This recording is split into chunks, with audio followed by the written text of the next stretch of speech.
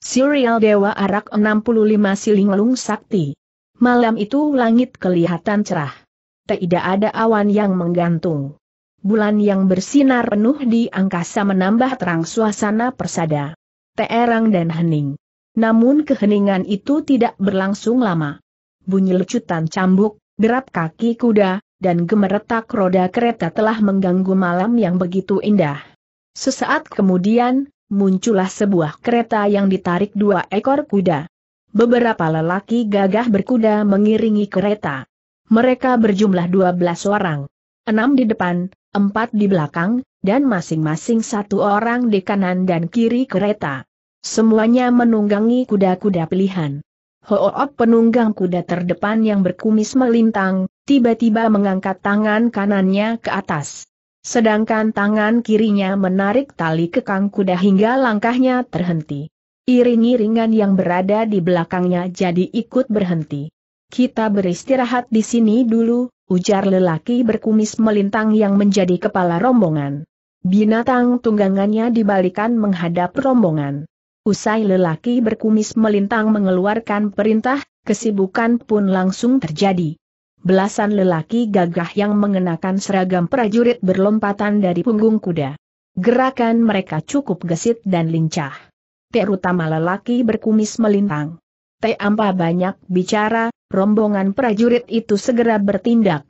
Kereta mereka ditaruh di tempat yang terlindung, di tengah-tengah. Sedangkan di empat penjuru, mereka berjaga.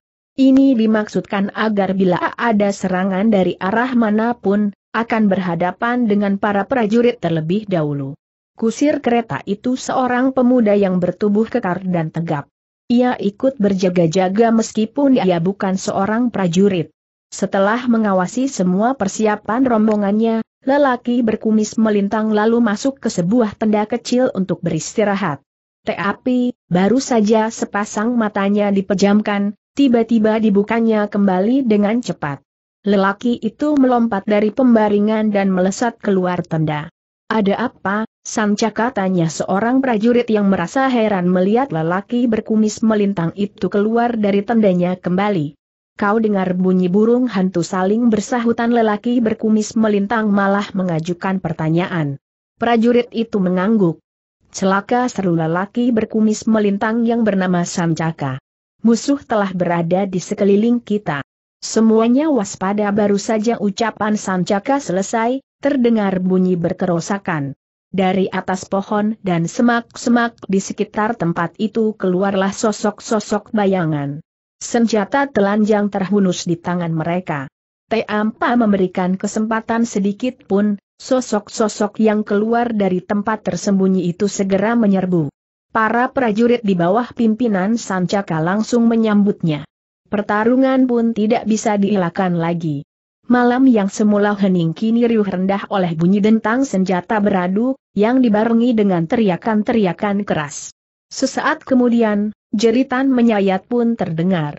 Seorang anak buah Sancaka telah menjadi korban kelompok penyerang yang meskipun hanya berjumlah empat orang, namun rata-rata berkepandaian tinggi.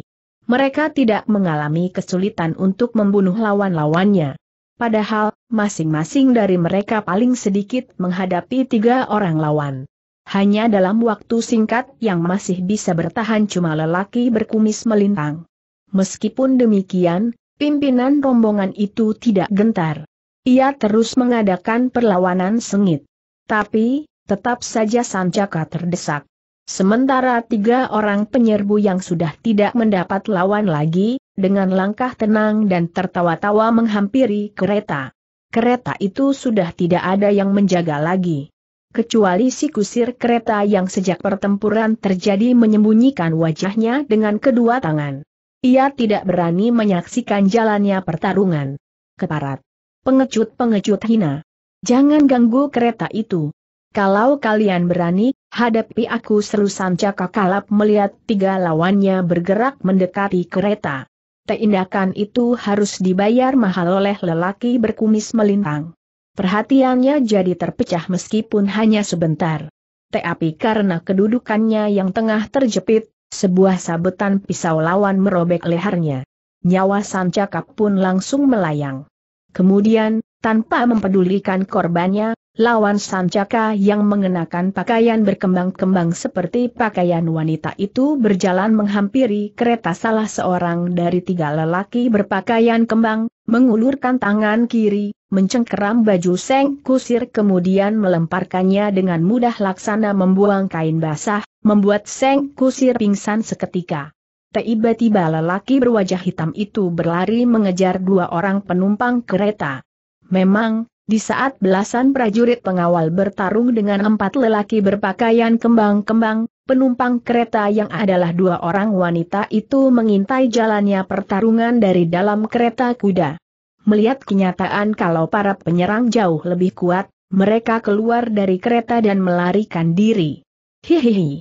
Mau lari ke mana? Manis tanya lelaki berwajah hitam ketika berhasil menghadang mereka. Hihihi tiga orang kawan lelaki berwajah hitam yang tidak ikut mengejar hanya memperhatikan dengan tertawa-tawa. Keparat busuk salah seorang wanita, yang muda dan cantik, menusukkan pedangnya yang dipegang dengan tangan kiri. Teangan kanannya menuntun wanita yang lebih tua. Senjata tajam itu cepat ditusukkan ke arah leher. Rupanya kau memiliki kepandaian juga, manis tapi jangan harap kau dapat menang dariku sambil berkata demikian, Lelaki berwajah hitam memiringkan kepala. Serangan itu berhasil dielakkan. Lalu secepatnya tendangan kaki kanannya meluncur menuju perut lawan. Buk! Telak dan keras sekali kaki lelaki berwajah hitam mendarat di sasaran. Teubuh wanita cantik berpakaian indah itu sampai terlempar dan jatuh bergulingan di tanah. Jangan sakiti dia seru wanita yang lebih tua. Ia bergerak menghadang langkah lelaki berwajah hitam yang akan menghampiri si wanita muda. Minggir kau, Teu Abang jelek Te Ampa menaruh rasa kasihan sedikit pun, lelaki berwajah hitam mengulurkan tangan menangkap tubuh wanita tua itu, lalu dibantingnya dengan keras hingga terdengar bunyi berdebuk.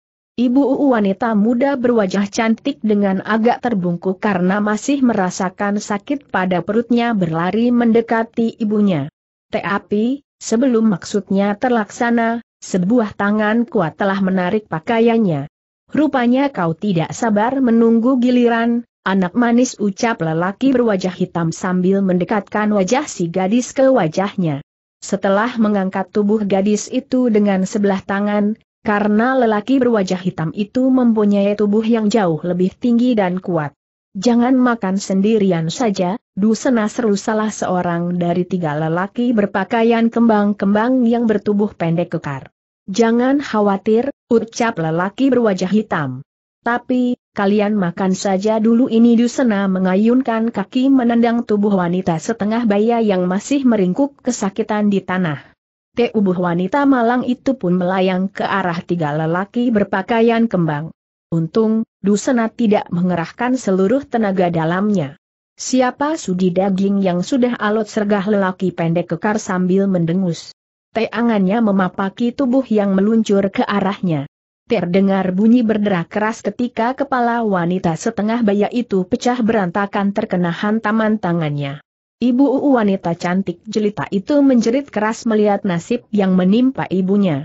Tapi jeritannya hanya sampai di situ saja. Mulutnya telah ditutup dengan buas oleh mulut lelaki berwajah hitam, yang menciuminya dengan penuh nafsu. Tidak hanya mulut saja, tapi juga pipi dan hidungnya. Berat. Bunyi kain robek terdengar ketika tangan lelaki berwajah hitam merenggut baju si wanita cantik hingga robek dari leher sampai ke pusar. Dengan napas memburu Dusena mencampakkan tubuh wanita cantik itu ke tanah, ia segera melepas bajunya dan bersiap untuk menggagai. Namun mendadak terdengar bunyi geraman yang sangat keras, seperti auman harimau. Akibatnya hebat bukan main. Dusena dan ketiga kawannya merasakan sekujur tubuh mereka tergetar hebat. Bahkan, kedua kaki mereka menggigil keras. T4 dapat ditahan lagi ketiga orang itu ambruk ke tanah. Sebelum Dusena sempat berbuat sesuatu, terasa angin dingin berdesir. Di sebelahnya telah berdiri si kusir kereta yang tadi dicampakannya. Kali ini sikap dan keadaan lelaki bertubuh kekar itu amat jauh berbeda dengan sebelumnya. Wajahnya tampak beringas. Sepasang matanya menatap liar penuh nafsu membunuh. Kusir kereta itu mengangkat tubuh wanita cantik jelita dengan care luar biasa. Cepat bukan main gerakannya, sehingga Dusena yang berada di dekatnya tidak melihat bagaimana lelaki kekar itu bergerak. Tahu tahu tubuh wanita itu telah berada di bahu kanannya.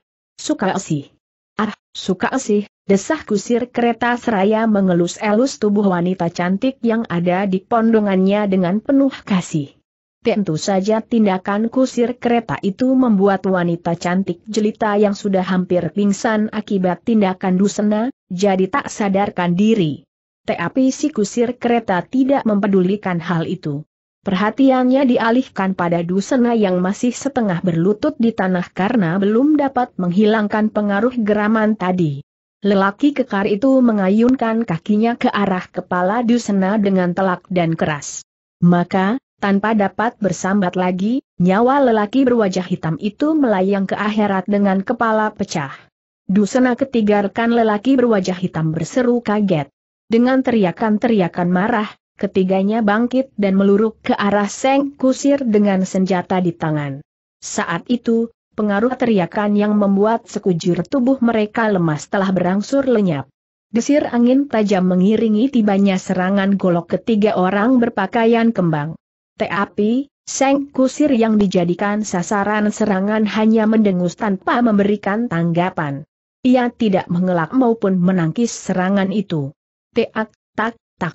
Tiga rekan Dusena memekik kaget. Metu-metu golok yang berhasil mendarat di tubuh Seng Kusir tidak mampu melukai kulitnya, hanya merobek pakaian. Bahkan, golok-golok itu terpental balik dan tangan mereka terasa sakit. Tubuh lelaki kekar itu bagaikan terbuat dari karet yang keras dan kenyal. Kenyataan itu membuat tiga lelaki berpakaian kembang-kembang kaget bukan main. Mereka tidak tahu kalau Seng Kusir memiliki tenaga dalam sangat kuat kulit tubuhnya tidak mampu tertembus golok. Namun, perasaan itu hanya sebentar saja menghinggapi mereka. Saat berikutnya, ketiganya mengeluarkan jeritan menyayat ketika dengan kecepatan yang luar biasa, Seng Kusir mendaratkan jari telunjuknya pada dahi mereka, hingga berlubang.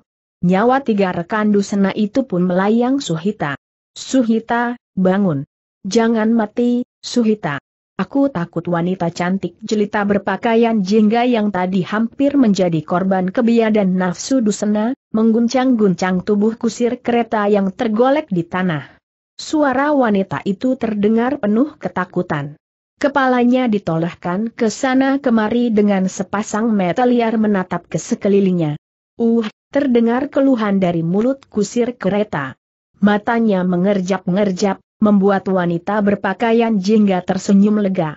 Apa yang terjadi, Nona ah, kau tidak apa-apa syukurlah. Aku khawatir sekali tadi. Mereka jahat dan kejam sekali. Dan, eh, Siapa yang membunuh mereka? Nona tanya Suhita Linglung, kusir kereta itu kelihatan kaget sekali melihat tubuh-tubuh lelaki berpakaian kembang-kembang bergeletakan di tanah tidak bernyawa. Wanita berpakaian jingga mengerutkan alisnya yang indah mendengar jawaban itu. Kau tidak usah berpura-pura, Suhita. Bukankah kau yang telah membunuh mereka? Aku Suhita membelalakan sepasang matanya yang masih kelihatan linglung. Aku yang membunuh mereka, Nona apakah kau tidak main-main bagaimana mungkin aku bisa membunuh mereka yang berkepandaian tinggi sedangkan para prajurit saja dapat mereka kalahkan, apalagi aku yang tidak memiliki kepandaian apa pun. Bukankah kau melihat sendiri aku juga pingsan orang yang berwajah hitam itu telah melempar aku seperti membuang sehelai kain basah. Tapi, tapi apa, Suhita tanya wanita berpakaian jingga melihat Suhita menghentikan ucapannya dengan wajah kelinglungan. Ti, tidak ada apa-apa, Nona, Suhita menggeleng-gelengkan kepala cepat. Tapi yang jelas, bukan aku yang telah membunuh mereka. Percayalah, Nona. Aku tidak mempunyai kepandaian silat sedikit pun, wanita berpakaian jingga tidak mendesak lagi. Dia hanya menghela napas berat untuk menghempaskan kekecewaannya karena Suhita tidak mau berterus terang. Baiklah, Suhita. Kalau kau tidak percaya padaku, tidak mengapa. Yang penting, sekarang temani aku pulang, tapi, Nona. Bukankah TUAN besar menyuruh Nona pergi, dan tidak usah kembali ke sana lagi karena sangat berbahaya tujuan kita adalah tempat kediaman Paman Nona, Suhita mencoba membantah. Untuk apa aku ke sana kalau hanya sendirian, Suhita lagi pula aku harus mengabarkan kejadian ini pada ayahku. Setidaknya ayah harus tahu kalau pelaku kekejian ini adalah perguruan lembah seribu bunga, wanita berpakaian jingga bersikeras pada keinginannya. Tapi, sudahlah, Suhita. Kau tinggal pilih, mau ikut atau tidak jika tidak, biar aku pergi sendiri tandas wanita berpakaian jingga agak kesal. Tentu saja aku akan ikut denganmu, Nona. Tapi, perjalanan yang telah kita tempuh cukup jauh akan membutuhkan waktu yang cukup lama untuk kembali. Paling tidak kita akan sampai di rumah menjelang siang. Dan, aku tidak peduli ujar wanita berpakaian jingga. Yang penting, kita harus beritahukan kejadian ini pada ayah Suhita mengangkat bahu mendengar kata-kata majikan mudanya. Sesaat kemudian, Suhita dan wanita berpakaian jingga telah memacu kudanya kembali ke arah semula. Tentu saja setelah terlebih dulu mengubur mayat-mayat para prajurit dan ibunya matahari telah bergeser mendekati tengah hari. Sinarnya memancar cukup terik. Tapi semua itu tidak dipedulikan sesosok tubuh ramping berpakaian hijau. Ia berdiri tegak dan bertolak pinggang di sebuah jalan tanah berdebu di kaki gunung. Pada kanan kiri jalan terdapat tebing yang menjulang tinggi ke atas sebagai tiang-tiang alam yang hendak menggapai langit. Sosok berpakaian hijau yang ternyata seorang wanita muda berwajah cantik dan berambut dikuncir itu menatap ke depan tanpa berkedip. Sepasang matanya berseri ketika melihat sesuatu bergerak di depan sana. Pedang yang tergantung di punggung segera dicabutnya. Serat. Sinar yang menyilaukan mata berpendar ketika pedang itu keluar dari sarungnya. Tidak terlihat bentuk senjata itu, hanya selerat sinar putih menyilaukan bentuk sesuatu di depan sana semakin lama semakin tampak jelas. Ternyata serombongan orang yang terdiri dari para prajurit dan orang-orang rimba persilatan. Sebagian di antara mereka berkuda, sisanya berjalan kaki. Rombongan yang terdiri dari pasukan kerajaan dan orang-orang persilatan itu melihat wanita berpakaian hijau yang berdiri menghadang jalan. Seorang berpakaian panglima segera memberi tanda pada anggota rombongan untuk berhenti. Mereka berada lima tombak dari wanita berpakaian hijau. Menyingkirlah, gadis kecil. Kami ingin lewat. Apakah kau telah mempunyai nyali demikian besar sehingga berani menghadang perjalanan pasukan kerajaan ujar Panglima bertubuh tinggi besar dan bercambang bau lebat. Aku tidak akan menyingkir sebelum kalian membebaskan ayahku dan membalas dendam atas kekejian yang telah kalian lakukan pada keluargaku tandas wanita berpakaian hijau seraya menudingkan jari telunjuknya pada sesosok tubuh tegap lelaki setengah baya, yang duduk di atas punggung kuda.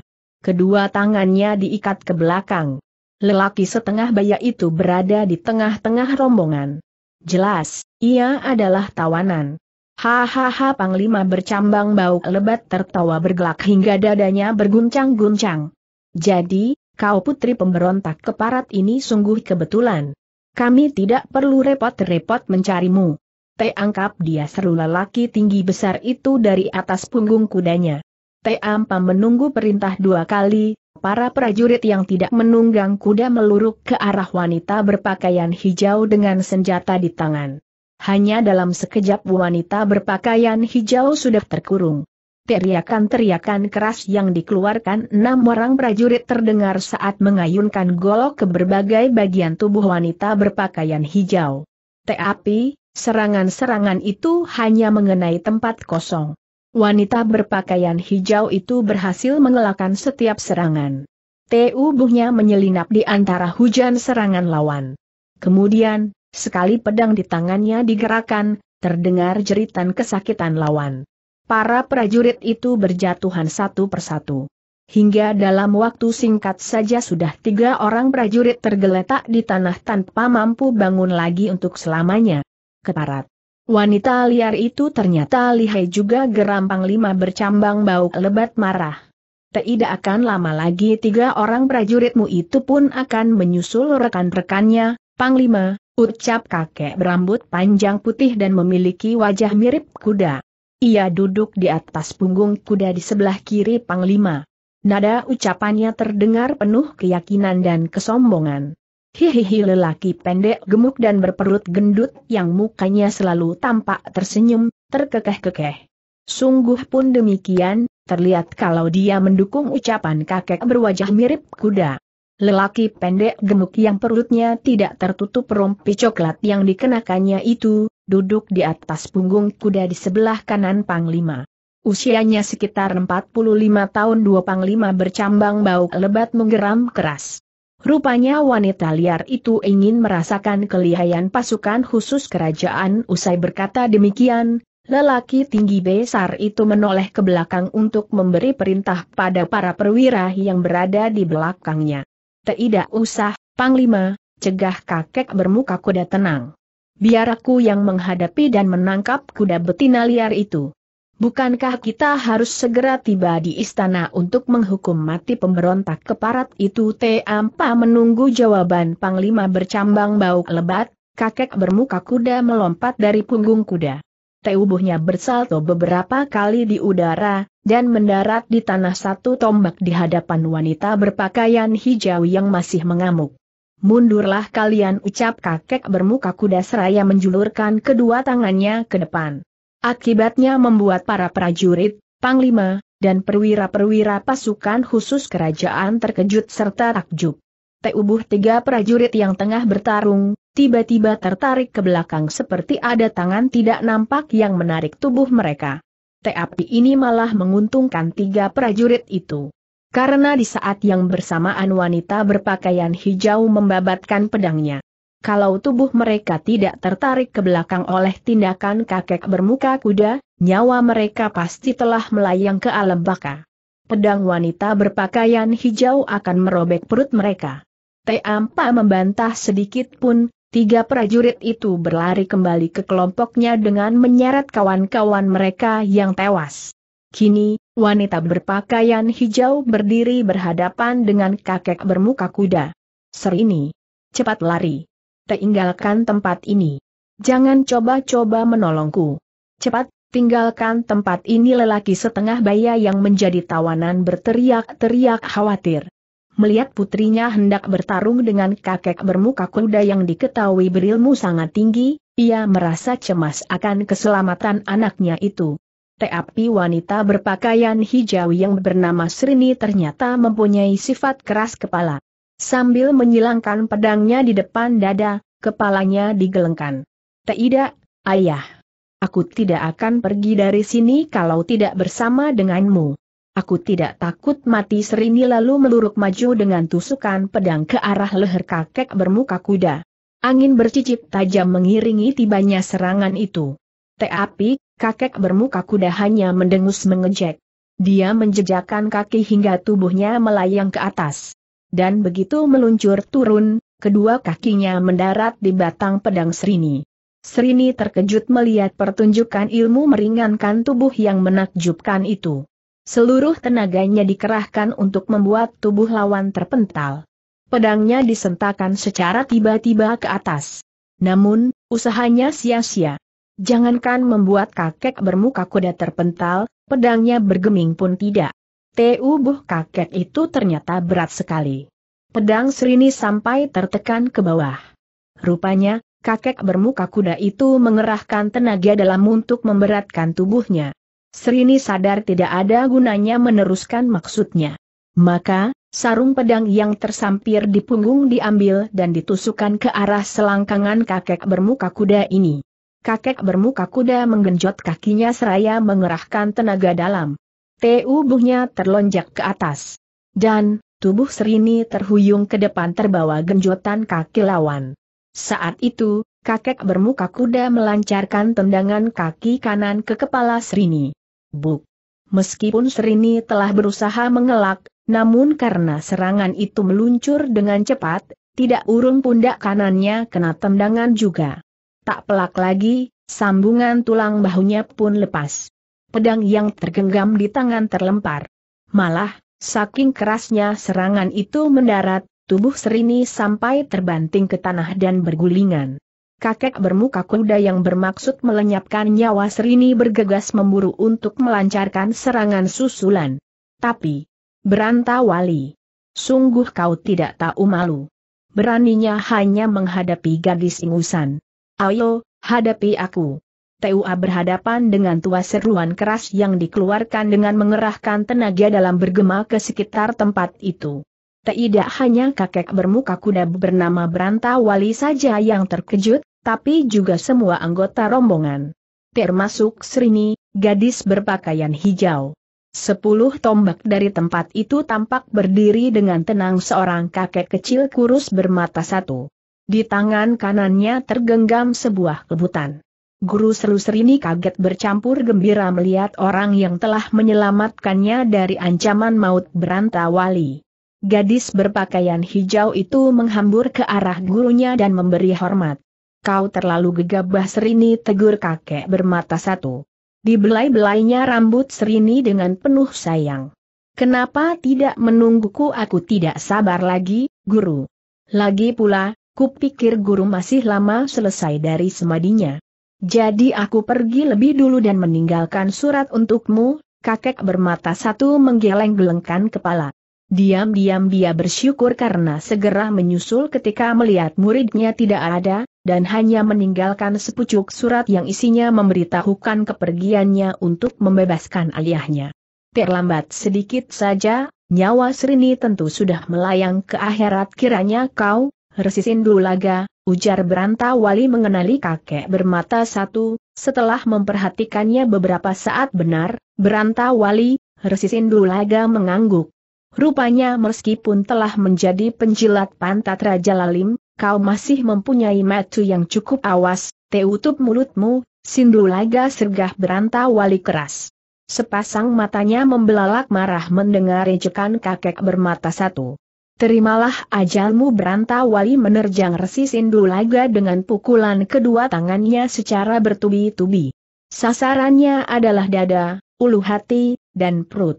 Angin serangan keluar dari dorongan tenaga dalam cukup tinggi. Serini yang melihat serangan berbahaya itu segera menjauh. Sedangkan Resi Sindulaga cepat menyimpan kebutannya di pinggang. Ia memapaki serangan itu dengan jari-jari tangan terkepal. Buk, buk, buk.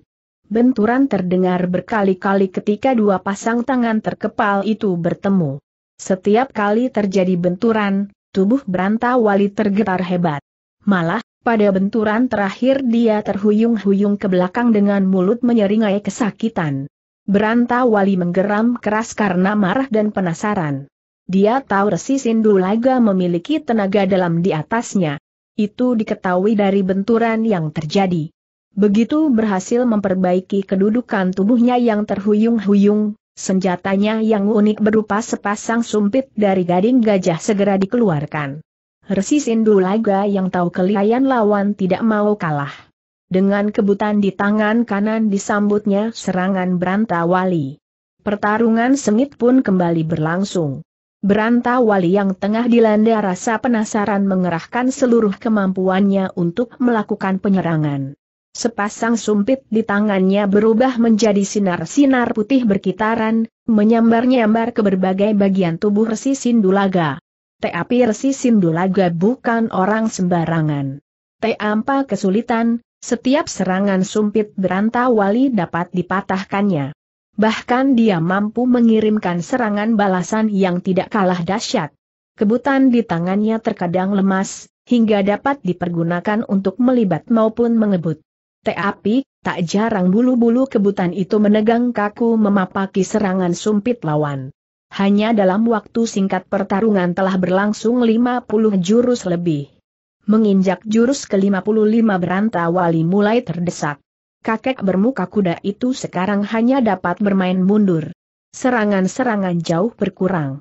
Yang banyak dilakukan beranta wali hanya mengelak dan menghindar. Menangkis jarang dilakukannya. Prat. AKH Branta Wali memekik kesakitan ketika kebutan resi Sindulaga menampar pundak kanannya. Baju dan kulit di bagian itu pun koyak. Darah mengalir keluar. Seketika itu pula tangan kanan kakek bermuka kuda. Lumpuh. Sumpit di tangannya terlepas. Khawatir akan ada serangan susulan di saat keadaannya tidak menguntungkan, beranta wali melempar tubuhnya ke belakang. Bersalto beberapa kali di udara menjauhi lawan. Pada saat yang bersamaan, lelaki pendek gemuk yang sejak tadi menyaksikan jalannya pertarungan dengan wajah cerah dan mulut tersenyum, melompat dari punggung kuda. Akulah lawanmu, Resisin Dulaga, ujar lelaki pendek gemuk sambil tertawa terkekeh. Lelaki berperut gendut itu berada di antara Resisin Dulaga dan Brantawali. Keberadaan lelaki pendek gemuk membuat Resisin Dulaga mengurungkan niatnya untuk melancarkan serangan lanjutan pada Brantawali. Siapa kau tanya Resisin Dulaga? Kebutannya ditudingkan ke arah lawan. Dengan mengerahkan tenaga dalam, Bulu-bulu kebutannya menegang kaku. Hihihi lelaki pendek gemuk kembali terkekeh hingga perut gendutnya bergoyang-goyang. Teawanya kelihatan biasa saja. Tapi tidak demikian halnya yang dirasakan Resi Sindulaga. Dadanya tergetar hebat seperti kena pukul. Kenyataan ini membuat kakek bermata satu itu berdebar tegang. Dia tahu, Lelaki pendek gemuk ini memiliki kepandaian amat tinggi dan kemungkinan besar berada di atasnya. Suara tawanya saja mampu mengguncangkan dadanya. Perasaan khawatir pun berkecamuk di hati si Sindulaga. Bukan mencemaskan keselamatannya, tapi muridnya. Rombongan pasukan kerajaan itu ternyata memiliki banyak orang pandai. Serini. Pergilah kau. Tinggalkan tempat ini. Biar aku yang akan membebaskan ayahmu seru kakek bermata satu pada muridnya. Serini merasa heran mendengar perintah itu. Tapi, dia tahu gurunya tidak akan berkata begitu kalau tidak ada hal-hal yang mengkhawatirkannya. Maka, Serini tidak berani membantah. Dia pun tadi sempat merasakan kedua kakinya menggigil ketika lelaki pendek gemuk tertawa. Padahal, suara tawa yang dikeluarkan dengan pengerahan tenaga dalam itu tidak ditujukan kepadanya, tapi pada gurunya. Serini membalikan tubuhnya hendak meninggalkan tempat itu. Tapi, Panglima bercambang bauk tidak membiarkan hal itu terjadi. Diperintahnya para perwira untuk mencegah Serini kabur. Resi Sindulaga tidak berpangku tangan ketika melihat para perwira kerajaan dan juga berantah wali mencegah perjalanan muridnya. Dia segera bergerak untuk menahan mereka. Tapi tiba-tiba terdengar bunyi tawa terkekeh. Dan, di depannya telah berdiri lelaki pendek gemuk. Mau ke mana? Sindulaga tanya lelaki itu tanpa meninggalkan kebiasaan tertawanya. Bukankah kau belum mendapatkan jawaban atas pertanyaan yang kau ajukan padaku Resi Sindulaga menggertakkan gigi menahan perasaan geramnya. Apalagi ketika dilihatnya, Srini gagal melarikan diri karena berantah wali telah mencegat jalannya. Wanita berpakaian hijau itu tengah menghadapi keroyokan tiga orang perwira kerajaan yang merupakan anggota pasukan khusus. Resi Sindulaga sadar kalau lelaki pendek gemuk tidak segera dirobohkan, dia tidak akan pernah bisa menolong muridnya. Tanpa menunggu lebih lama, kakek itu melompat menerjang lelaki pendek gemuk dengan tusukan kebutannya ke arah ubun-ubun dan sepasang mata lawan. Lelaki pendek gemuk tertawa terkekeh. Kedua tangannya yang terbuka didorongkan ke depan. Maka, serangkum hembusan angin kuat pun menyerbu resi Sindulaga, membuat bulu-bulu kebutan yang semula menegang kaku melemas kembali. Dengan sendirinya, serangan resi Sindulaga pun pupus. Tidak hanya itu saja yang diderita Resi Sindulaga. Dadanya terasa sesak bukan main. Ilmu pukulan gelombang laut, desah Resi Sindulaga terkejut. Kaget, Sindulaga tanya lelaki gemuk tetap dengan wajah cerah. Memang. Aku salah seorang ahli waris perguruan laut mati, tidak mungkin. Perguruan laut mati sudah lama musnah. Aku tahu betul tentang itu. Ramuji, keturunan terakhir perguruan laut mati tidak memiliki ilmu itu. Ilmu pukulan gelombang laut musnah sejak generasi di atas Ramuji tidak ada bantah resi Sindulaga yang yakin tahu betul tentang perguruan laut mati. Ramuji memang tidak memiliki ilmu khas perguruan laut mati, Sindulaga. Tapi aku memilikinya. Akulah ahli waris perguruan laut mati. Menyerahlah. Tidak ada gunanya kau melakukan perlawanan. Kau bukan lawanku jawab lelaki pendek gemuk. Aku sangka ahli waris perguruan laut mati sudi menjadi penjilat pantat Raja Lalim ujar Resi Sindulaga menyesalkan. Tidak perlu banyak bicara, Sindulaga. Nenek moyangku turun-temurun adalah abdi-abdi setia kerajaan. Maka aku pun mengikuti jejak mereka. Menyerahlah sebelum kau menerima perlakuan yang tidak sepantasnya jangan harap Aku lebih baik mati daripada menyerah. Hihresi Sindulaga menerjang maju. Kebutan di tangannya yang menegang kaku ditusukan bertubi-tubi ke berbagai bagian berbahaya tubuh lelaki pendek gemuk. Tapi dengan kecepatan yang mengagumkan, ahli waris perguruan laut mati itu berkelebat di antara serangan-serangan lawan. Ke mana pun serangan Resi Sindulaga meluncur, hanya akan menjumpai tempat kosong. Tubuh lelaki pendek gemuk sudah lebih dulu lenyap. Sebaliknya, setiap kali ahli waris perguruan laut mati melancarkan serangan, Resi Sindulaga kelabakan. Jangankan terkena langsung, angin serangannya saja sudah cukup membuat tubuh kakek bermata satu itu terhuyung-huyung. TA sampai 25 jurus, Resi Sindulaga terdesak hebat. Di jurus ke-27, di saat Resi Sindulaga kembali terhuyung-huyung, Tangan lelaki pendek gemuk bergerak cepat merampas kebutan kakek itu. Sedangkan tangan yang lain menampar dada kiri lawan. Plak! Resi Sindulaga mengeluarkan seruan tertahan. Serangan lelaki pendek gemuk tepat mengenai sasaran. Tubuhnya terhuyung dengan darah segar menyembur keluar dari mulutnya. Kakek bermata satu itu tewas seketika dengan dada pecah. Di saat yang bersamaan, Srini berhasil diringkus lawan-lawannya. Pedang di tangannya telah terlepas. Sebelum dia sempat berbuat sesuatu, beberapa bilah pedang telah tertuju ke lehernya dan siap ditusukan. Wanita berpakaian hijau itu tidak bisa berbuat apa-apa lagi. Guru, Srini merintih lirih, meskipun sebenarnya wanita itu ingin berteriak sekerasnya tapi rasa sedih yang sangat membuat suaranya tercekat di kerongkongan. Kalau saja beranta wali tidak cepat melumpuhkannya dengan totokan dan segera membelenggunya, mungkin Srini akan menerobos kepungan para perwira kerajaan untuk menghambur ke arah gurunya, walau nyawanya akan melayang. Tapi, keadaan menghendaki lain. Panglima bercambang bau lebat tersenyum gembira melihat kerusuhan itu berhasil ditanggulangi.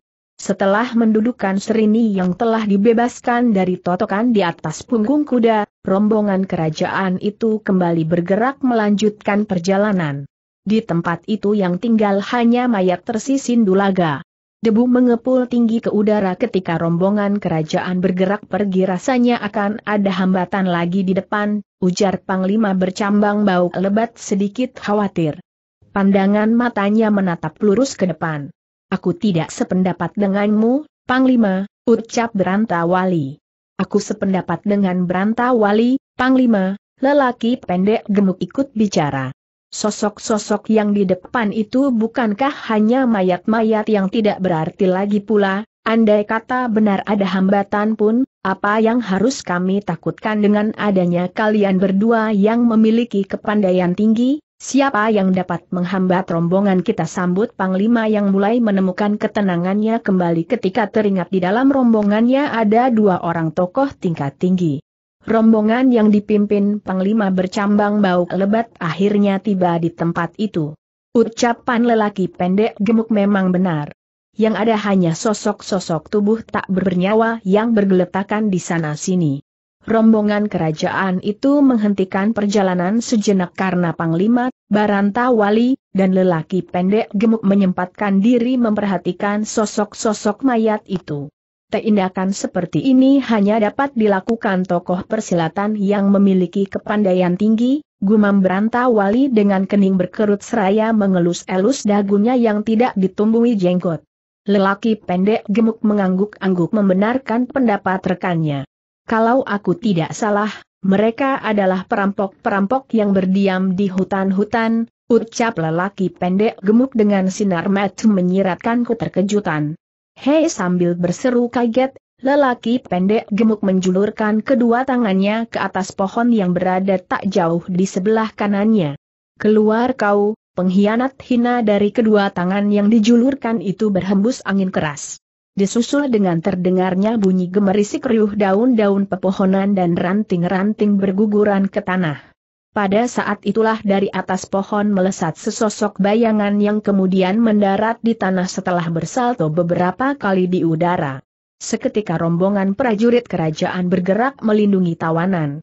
Mereka khawatir sosok itu orang yang ingin membebaskan tawanan. Siapa kau, anak muda tanya lelaki pendek gemuk tidak melanjutkan serangannya.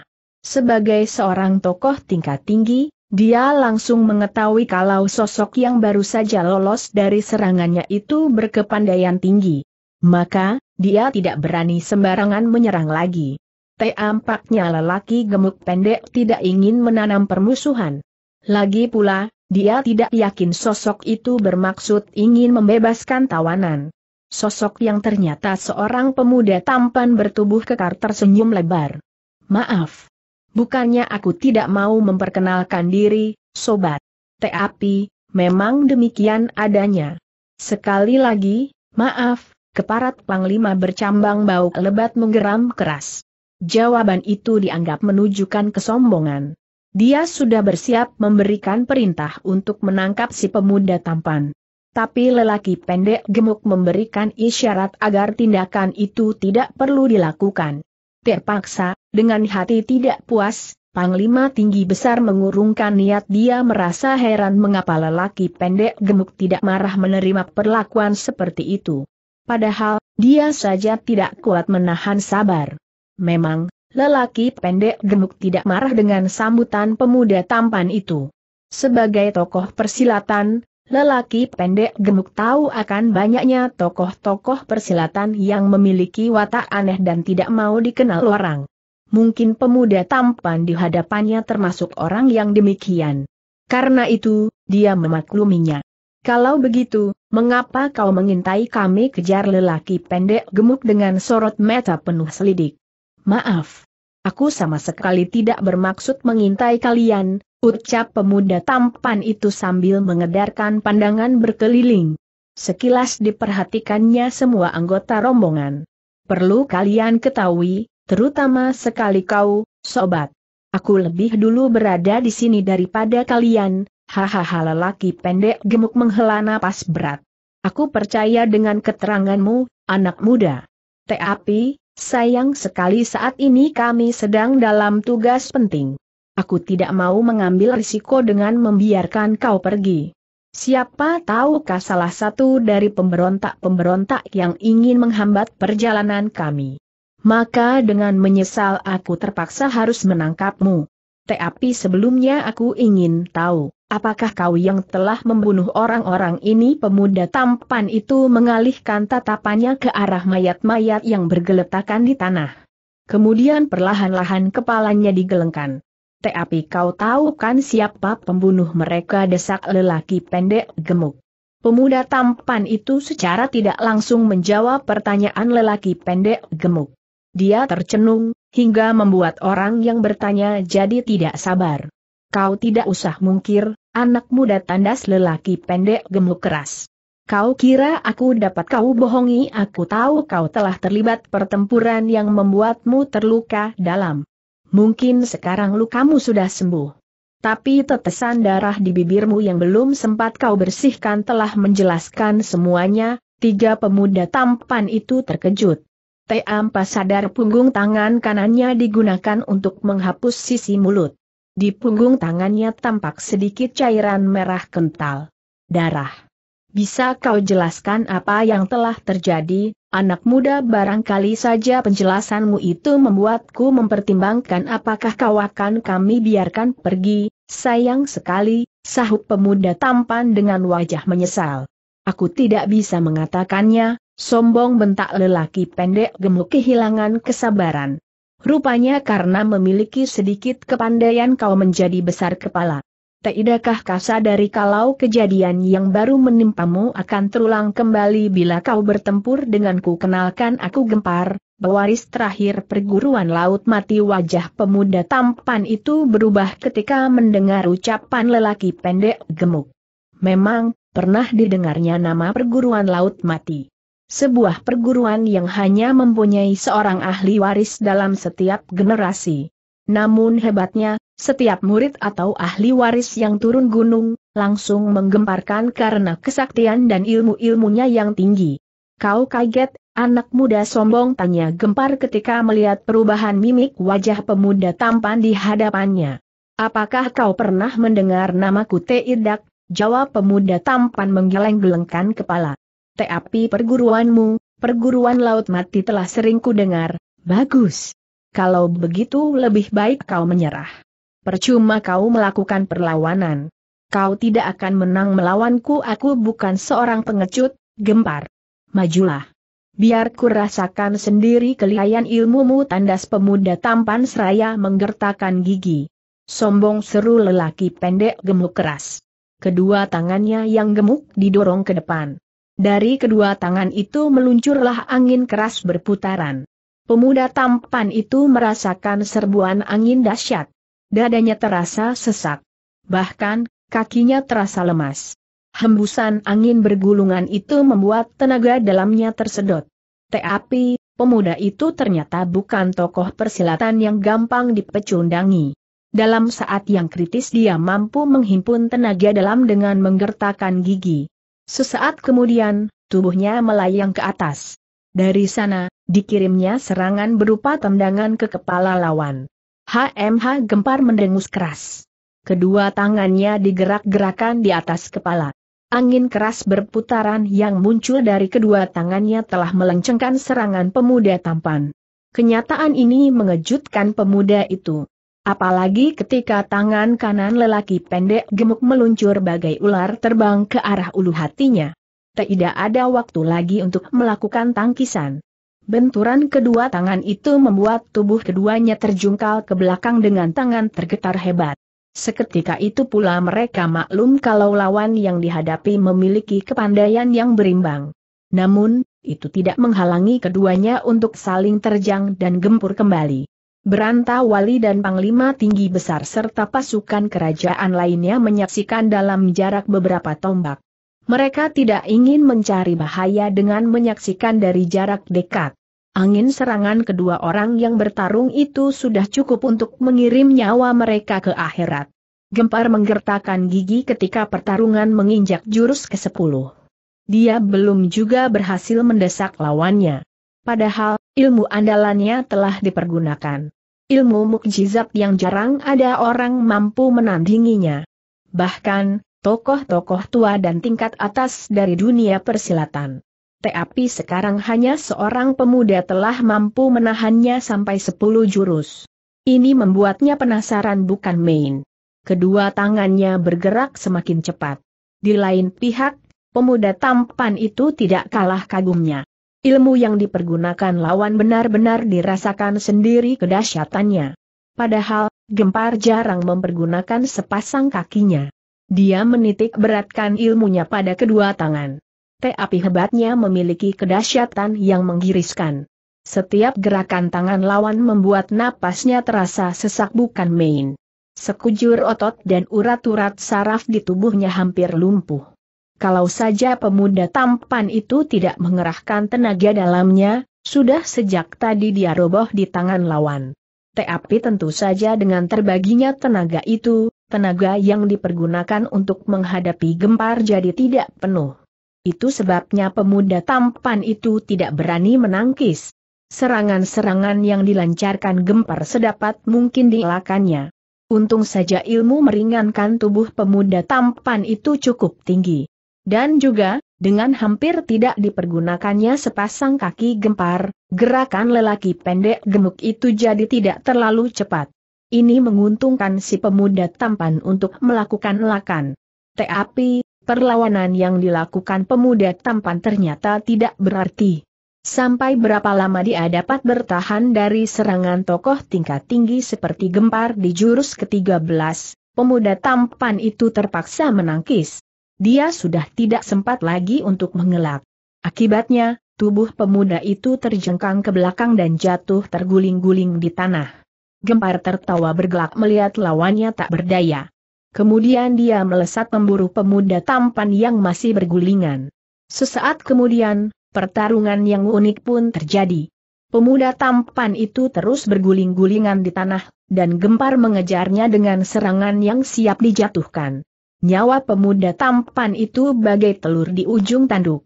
Hahaha. Itukah ilmu pukulan gelombang laut buruk?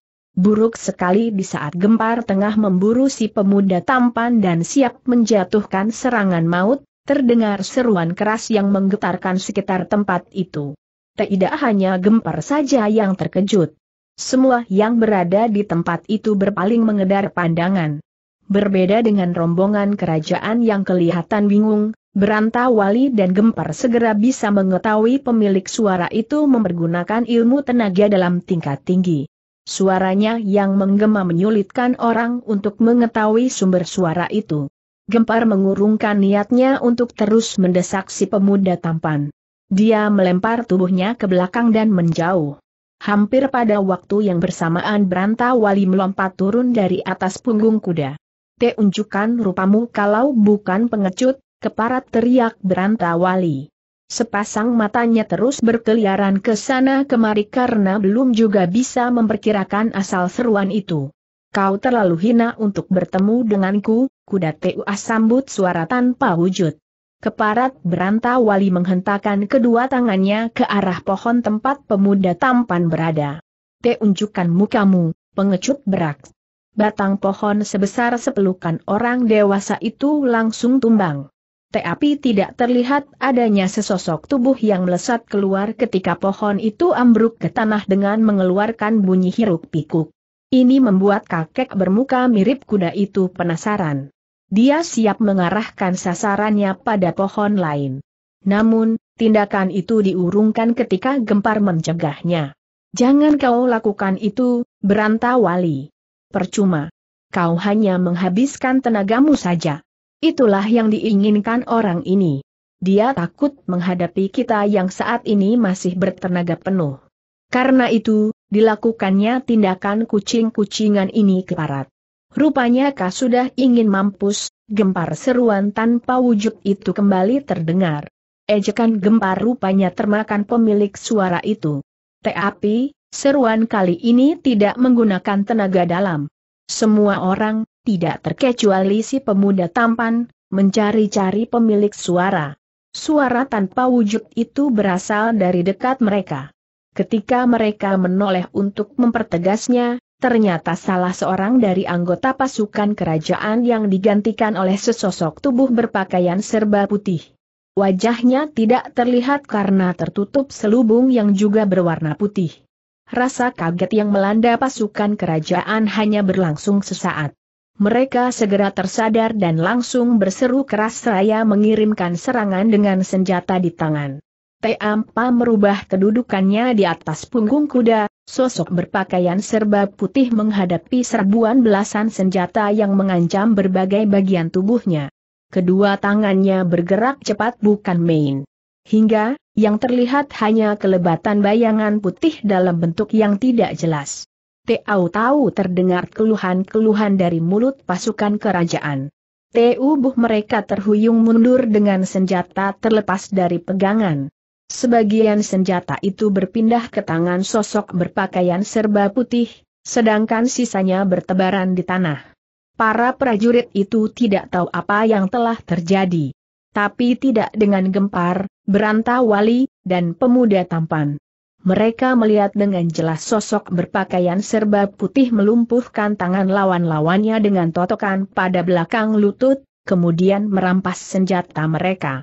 Keparat beranta wali yang berwatak berangasan, apalagi tadi diejek sosok serba putih itu, tidak bisa menahan kesabaran lagi. Dia menjejakkan kaki hingga tubuhnya melayang ke arah sosok serba putih. Tapi, sebelum maksudnya terlaksana, sosok berpakaian serba putih telah melakukan hal yang sama.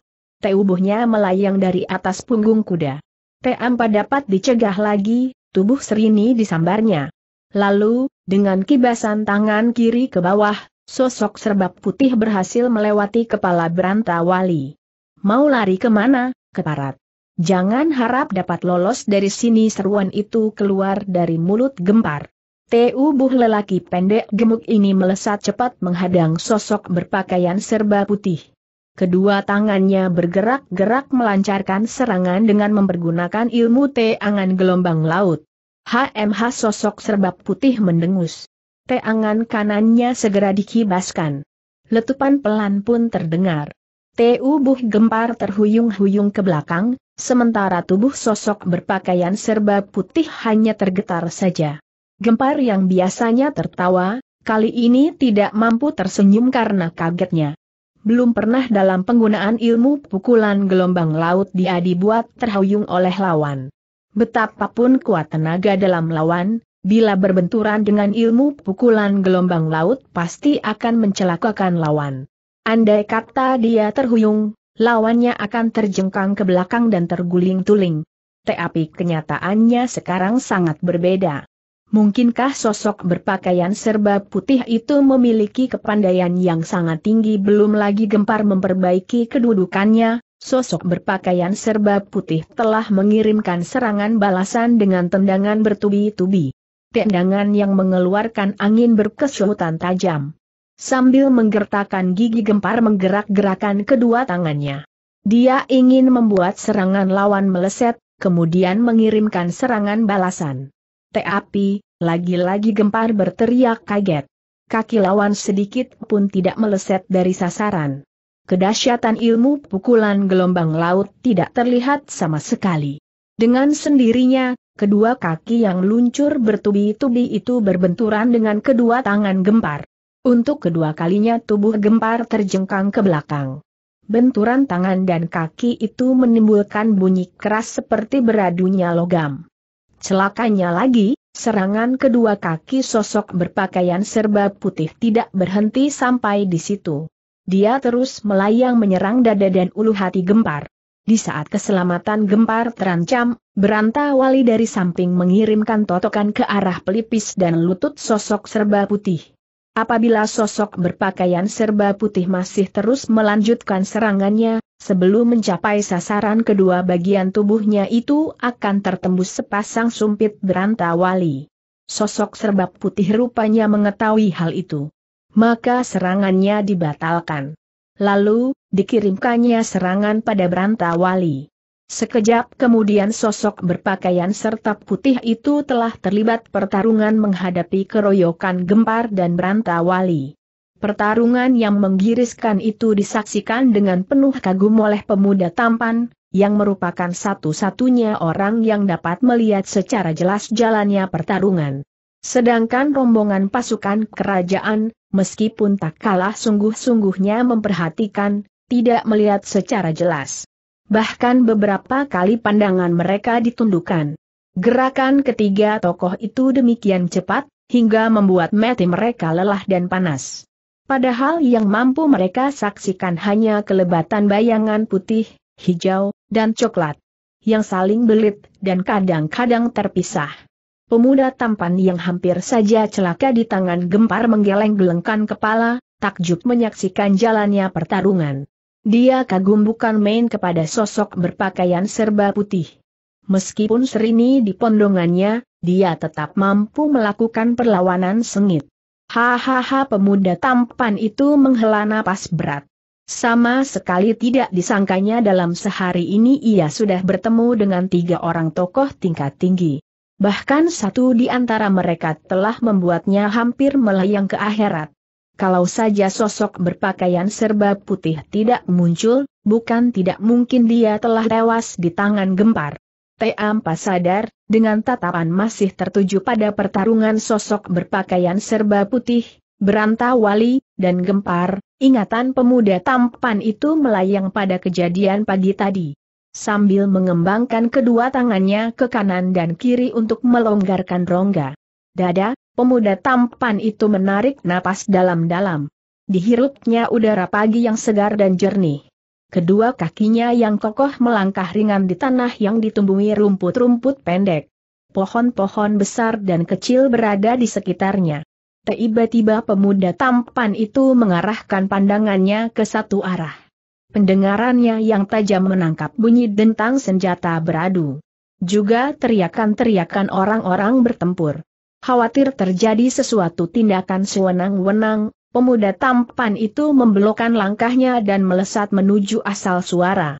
Hanya dalam beberapa kali lesatan saja, pandangan pemuda tampan itu telah tertumbuk pada sekelompok lelaki berwajah kasar. Mereka tengah mengeroyok seorang wanita berpakaian jingga. Sementara di belakang wanita itu tampak tergolek sesosok tubuh kekar. Sekali lihat saja pemuda tampan ini tahu kalau para pengeroyok tidak bermaksud membunuh wanita berpakaian jingga. Kalau demikian tujuan mereka, sudah sejak tadi wanita itu terbunuh. Meski wanita berpakaian jingga memiliki kepandaian di atas para pengeroyoknya, tapi untuk menghadapi enam orang sekaligus tidak akan kewalahan juga. Padahal, wanita berpakaian jingga melancarkan serangan dengan bersungguh-sungguh. Sedangkan lawan-lawannya melayani tanpa maksud membunuh. Serangan-serangan keenam lelaki berwajah kasar itu bukan berdasarkan hati yang baik dan tidak ingin membunuh lawan. Tapi, karena ada maksud jahat dan keji yang tersembunyi. Ini bisa diketahui dari serangan-serangan mereka yang tertuju pada bagian terlarang di tubuh wanita berpakaian jingga. Tidak hanya leher, tapi juga dada terutama sekali pada bagian di mana terdapat dua buah dada, paha, serta pinggul. Sering pula serangan mereka berupa pelukan. Menyerah saja, manis. Percayalah, meskipun kau musuh kami, tapi tak akan kami turunkan tangan kejam. Hihihi ucap salah seorang di antara mereka seraya menyeringai. Lebih baik aku mati tandas wanita berpakaian jingga keras. Perlawanan lebih sengit segera dilancarkannya. Tapi sia-sia saja usaha yang dilakukan wanita itu. Saat dia kurang waspada, seorang pengeroyok berhasil menyambar pergelangan tangan kirinya. Wanita berpakaian jingga menjerit kaget. Namun dia tidak kehilangan akal. Buru-buru dikerahkannya tenaga untuk menarik tangannya. Tapi sayang, cekalan tangan lelaki kasar tidak terlepas. Bahkan sebelum wanita berpakaian jingga berbuat sesuatu, lima orang lawannya yang lain telah menyerbu dengan tubrukan seperti seekor harimau menerkam kambing. Kali ini wanita berpakaian jingga gugup. Ini membuatnya tidak bisa melakukan tindakan penyelamatan. Saat itulah, sebuah benda berwarna gelap meluncur, dan menghantam pergelangan tangan lelaki kasar yang mencekal tangannya. Lelaki kasar itu menjerit keras pegangannya terlepas. Dengan sendirinya wanita berpakaian jingga terjengkang ke belakang terbawa tenaga tarikannya sendiri. Tapi, ini justru membuatnya lolos dari sergapan lima orang lawannya. Saat wanita berpakaian jingga hendak melompat bangun dan mengadakan perlawanan di depan telah berdiri membelakangi sesosok tubuh kekar seorang pemuda berambut panjang tergerai. Keparat. Kadal bunting kecoak busuk lelaki kasar yang tadi mencekal tangan wanita berpakaian jingga berteriak memaki-maki. Teatapannya penuh kemarahan tertuju lurus ke wajah pemuda tampan berambut panjang yang berdiri di hadapannya.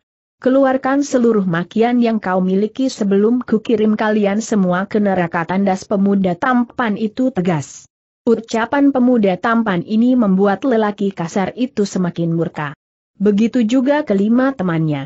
Bagai diberi perintah mereka mencabut senjata masing-masing, golok pendek berwarna merah membara seperti besi dibakar. Rupanya kau ingin mampus, kambing seru lelaki kasar keras. Sebelum gema makiannya lenyap, dia melompat menerjang pemuda tampan dengan golok dibabatkan mendatar ke arah leher. Tindakan ini diikuti kelima rekannya. Dalam sekejap, pemuda tampan itu telah menghadapi hujan serangan enam lawannya. Sinar-sinar kemerahan bagai malaikat maut menyambar-nyambar ke arahnya. Tapi, pemuda berambut panjang itu tidak menjadi gugup.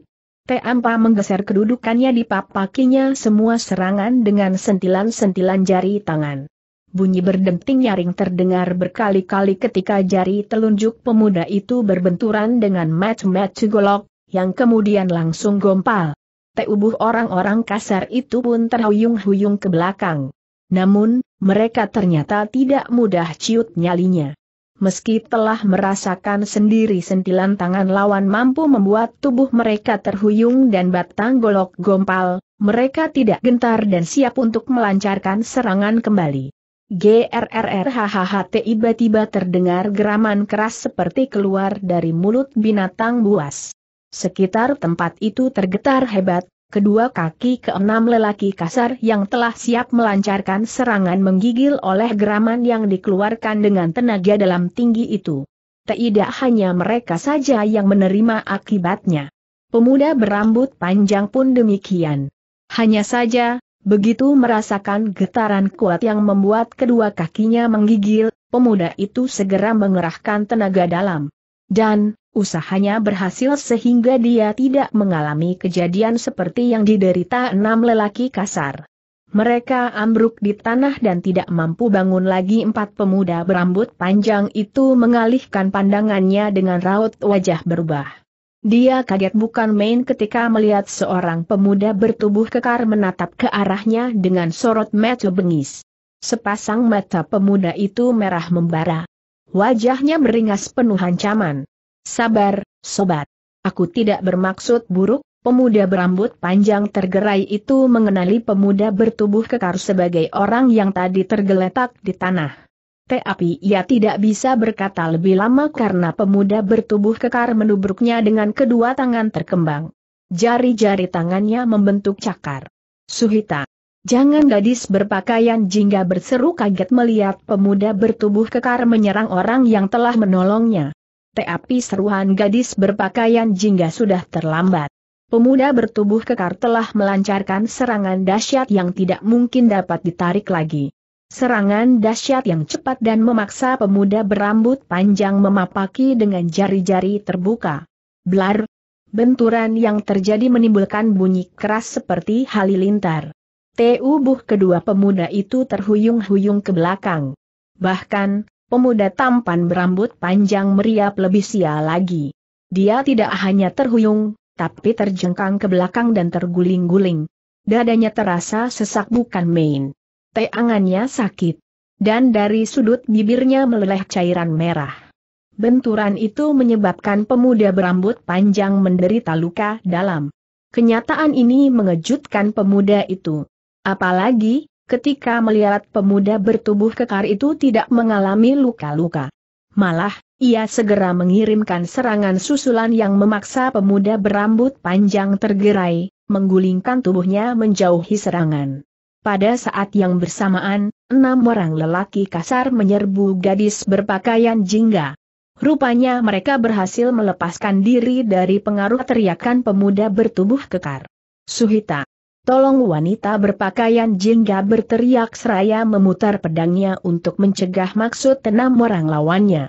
Pemuda bertubuh kekar yang memang tidak lain Suhita kembali menggeram. Kali ini ia tidak mengerahkan tenaga dalam seperti sebelumnya. Laksana terbang, dia melesat ke arah wanita berpakaian jingga yang tengah menghadapi keroyokan enam lelaki. Mereka rupanya menyadari akan adanya bahaya. Maka begitu mendengar bunyi geraman, mereka langsung membalikan tubuh dan menyambut kedatangan pemuda bertubuh dengan ayunan senjata. Teak, tak, tak. Bunyi berdepak keras seperti logam beradu terdengar disusul dengan jeritan menyayat hati dari mulut keenam lelaki kasar. Senjata berikut tubuh mereka berpentalan ke sana kemari seperti daun-daun kering ditiup angin. Mereka tewas dengan dai berlubang. Pemuda tampan berambut panjang tidak sempat lagi berbuat sesuatu. Kejadian itu berlangsung demikian cepat. Tahu-tahu tubuh keenam lelaki kasar telah berterbangan tak tentu arah. Dan, Sebelum pemuda berambut panjang itu sadar sepenuhnya dari terkesimanya, Suhita telah menyambar tubuh wanita berpakaian jingga dan membawanya melesat meninggalkan tempat itu. Pemuda berambut panjang ingin mengejarnya, tapi baru beberapa langkah segera diurungkan. Dadanya terasa sakit bukan main. Dia tahu ini terjadi karena luka dalam yang dideritanya. Terpaksa dibiarkan Suhita berlari. Dalam waktu singkat ia telah lenyap di kejauhan. Sesaat kemudian, Pemuda berambut panjang menggenjot kakinya dan hinggap di salah satu cabang pohon yang rimbun. Ia bersemadi untuk mengobati luka dalamnya sampai kemudian gempar membuatnya keluar dari tempat persembunyiannya. Pemuda berambut panjang tergerai itu menghela napas berat. Lamunannya buyar. Dia kagum dengan kepandaian Suhita. Namun lebih kagum lagi pada sosok berpakaian serba putih ini. Ketinggian ilmunya benar-benar membuat pemuda berambut panjang takjub. Terutama ilmu meringankan tubuhnya. Sosok berpakaian serba putih berkelebat ke sana kemari di antara serangan-serangan gempar dan berantawali. AKHT tiba-tiba terdengar jeritan melengking. Disusul dengan terlemparnya tubuh berantawali dari kancah pertarungan. Ia jatuh berdebuk di tanah tanpa mampu bangun lagi kakek berwajah mirip kuda itu tewas dengan dai berlubang. Teampak tubuh gempar pun terhuyung-huyung. Wajahnya menyeringai kesakitan. Mendadak, sosok berpakaian serba putih melesat meninggalkan tempat itu. Kejar Panglima bercambang bau lebat segera mengeluarkan perintah. Tidak usah dikejar seru gempar keras dengan mulut masih menyeringai. Tapi peringatan gempar terlambat. Tiga orang perwira anggota pasukan khusus telah melemparkan pisau-pisau terbang yang sejak tadi mereka genggam. Seketika itu pula, sembilan batang pisau menyambar ke arah sosok serbak putih yang tengah berlari. Kembali sosok itu mendengus menghina. Tangan kirinya diputar seraya menolehkan kepala. Akibatnya, sungguh menakjubkan. Pisau-pisau itu berputar balik ke arah semula dengan kecepatan berlipat ganda. Kejadian yang tidak disangka-sangka ini membuat rombongan kerajaan kelabakan. Pisau-pisau itu tidak hanya mengarah pada tiga perwira, tapi juga anggota rombongan yang lain. Tidak terkecuali Panglima tinggi besar. Sebisanya mereka mengelakkan serangan itu. Tapi tak urung, jeritan-jeritan kesakitan terdengar susul menyusul ketika dua perwira dan lima prajurit kerajaan tewas tertembus pisau di dahinya. Panglima bercambang bau lebat dapat menangkis serangan pisau itu. Sedangkan perwira yang satu lagi telah lebih dulu melompat dari punggung kuda. Keparat Panglima tinggi besar menggeram keras menyaksikan kematian anggota rombongannya. Sementara gempar menghampiri dengan wajah lesu. Terlihat jelas lelaki pendek gemuk itu terpukul sekali. Belum pernah kutemui tokoh persilatan yang memiliki kepandaian setinggi ini, Ucap gempar tanpa mengumandangkan tawanya. Tapi aku belum kalah. Satu waktu akan ku cari dia dan kuajak bertarung sampai salah seorang di antara kami menggeletak di tanah, Panglima tinggi besar menghela napas berat. Dia tidak menanggapi ucapan gempar. Diperintahkannya anggota rombongan untuk mengurus kawan-kawan mereka yang terluka dan tewas. Aku mempunyai sebuah gagasan, gempar, ujar Panglima tinggi besar kemudian dengan sungguh-sungguh. Apakah tidak lebih baik kalau pemberontak hina ini kita pancung saja gempar tidak segera memberikan jawaban. Ditatapnya wajah Panglima bercambang bau lebat lekat-lekat. Aku khawatir ada penyerbuan lagi. Dan pemberontak ini berhasil dibebaskan. Lalu, cukup gempar memotong. Teangannya kemudian bergerak cepat. Terdengar bunyi berdesing, lalu bunyi benda jatuh ke tanah. Teau tahu di depan Panglima tinggi besar telah tergeletak kepala lelaki setengah baya berwajah gagah, yang menjadi tawanannya. Panglima bercambang bau lebat menelan ludah membasahi kerongkongannya yang mendadak kering. Dia kenal betul dengan pedang yang berada di tangan gempar. Itu adalah pedangnya. Kenyataan lelaki pendek gemuk itu mampu mengambilnya tanpa diketahui, lalu membabat leher tawanannya menunjukkan betapa lihainya gempar. Gempar tampaknya tersinggung dengan ucapannya yang bernada meremehkan kemampuannya. Dengan keringat dingin membasahi dahi, Panglima bercambang bau lebat menerima pedang yang diangsurkan gempar. Dan, memanggil anak buahnya untuk membersihkan senjatanya. Kemudian, tanpa peduli pada tubuh lelaki setengah baya yang tanpa kepala mereka meneruskan perjalanan. Perjalanan jauh yang memakan waktu berhari-hari untuk sampai di pusat kerajaan. Tidak seorang pun yang teringat pada pemuda berambut panjang. Pemuda tampan itu memang sudah tidak berada di situ. Begitu melihat sosok berpakaian serba putih melesat kabur, dia segera mengejarnya. Naluri kependekarannya mengatakan, kepergian sosok berpakaian serba putih bertujuan tidak baik jelek. Hahaha tawa keras yang bergema di sekitar tempat itu, menyambut kedatangan sepasang kaki sosok berpakaian serba putih yang menjejakkan kakinya di lembah curam itu tapi sosok berpakaian serba putih tidak tampak terkejut sedikit pun. Sikapnya terlihat sangat tenang. Dia berdiri tegak di tempatnya. Sikapnya masih tetap tenang ketika dari sekelilingnya bermunculan sosok-sosok yang berpakaian kembang-kembang. Semula sosok berpakaian serba putih agak kecut juga ketika melihat sosok-sosok berpakaian kembang muncul begitu saja. Padahal, tidak ada tempat persembunyian baik berupa semak, pohon, ataupun batu-batu besar. Paling-paling hanya rumput-rumput kecil. Tapi, pandangannya yang tajam dapat melihat kalau sosok-sosok itu muncul dari dalam tanah. Mereka rupanya telah membuat lubang lalu menutupinya dengan tanah berumput. Akhirnya kau masuk juga dalam perangkap kami, manusia sombong seru salah seorang dari sosok berpakaian kembang. Dia adalah seorang kakek berusia 70 tahun, tubuhnya tinggi besar dan memiliki luka melintang di pipinya. Sudah sejak lama aku ingin mencincang jantungmu lanjutnya. Sosok serba putih hanya memperhatikan kakek berpakaian kuning lusuh sekilas. Kemudian diperhatikannya orang-orang yang berada di sekelilingnya. Mereka berjumlah 12 orang. Sebagian besar mengenakan pakaian kembang-kembang berwarna hijau muda. Berarti masih lebih rendah dari tingkat kepandaian berantawali yang mengenakan pakaian hijau tua.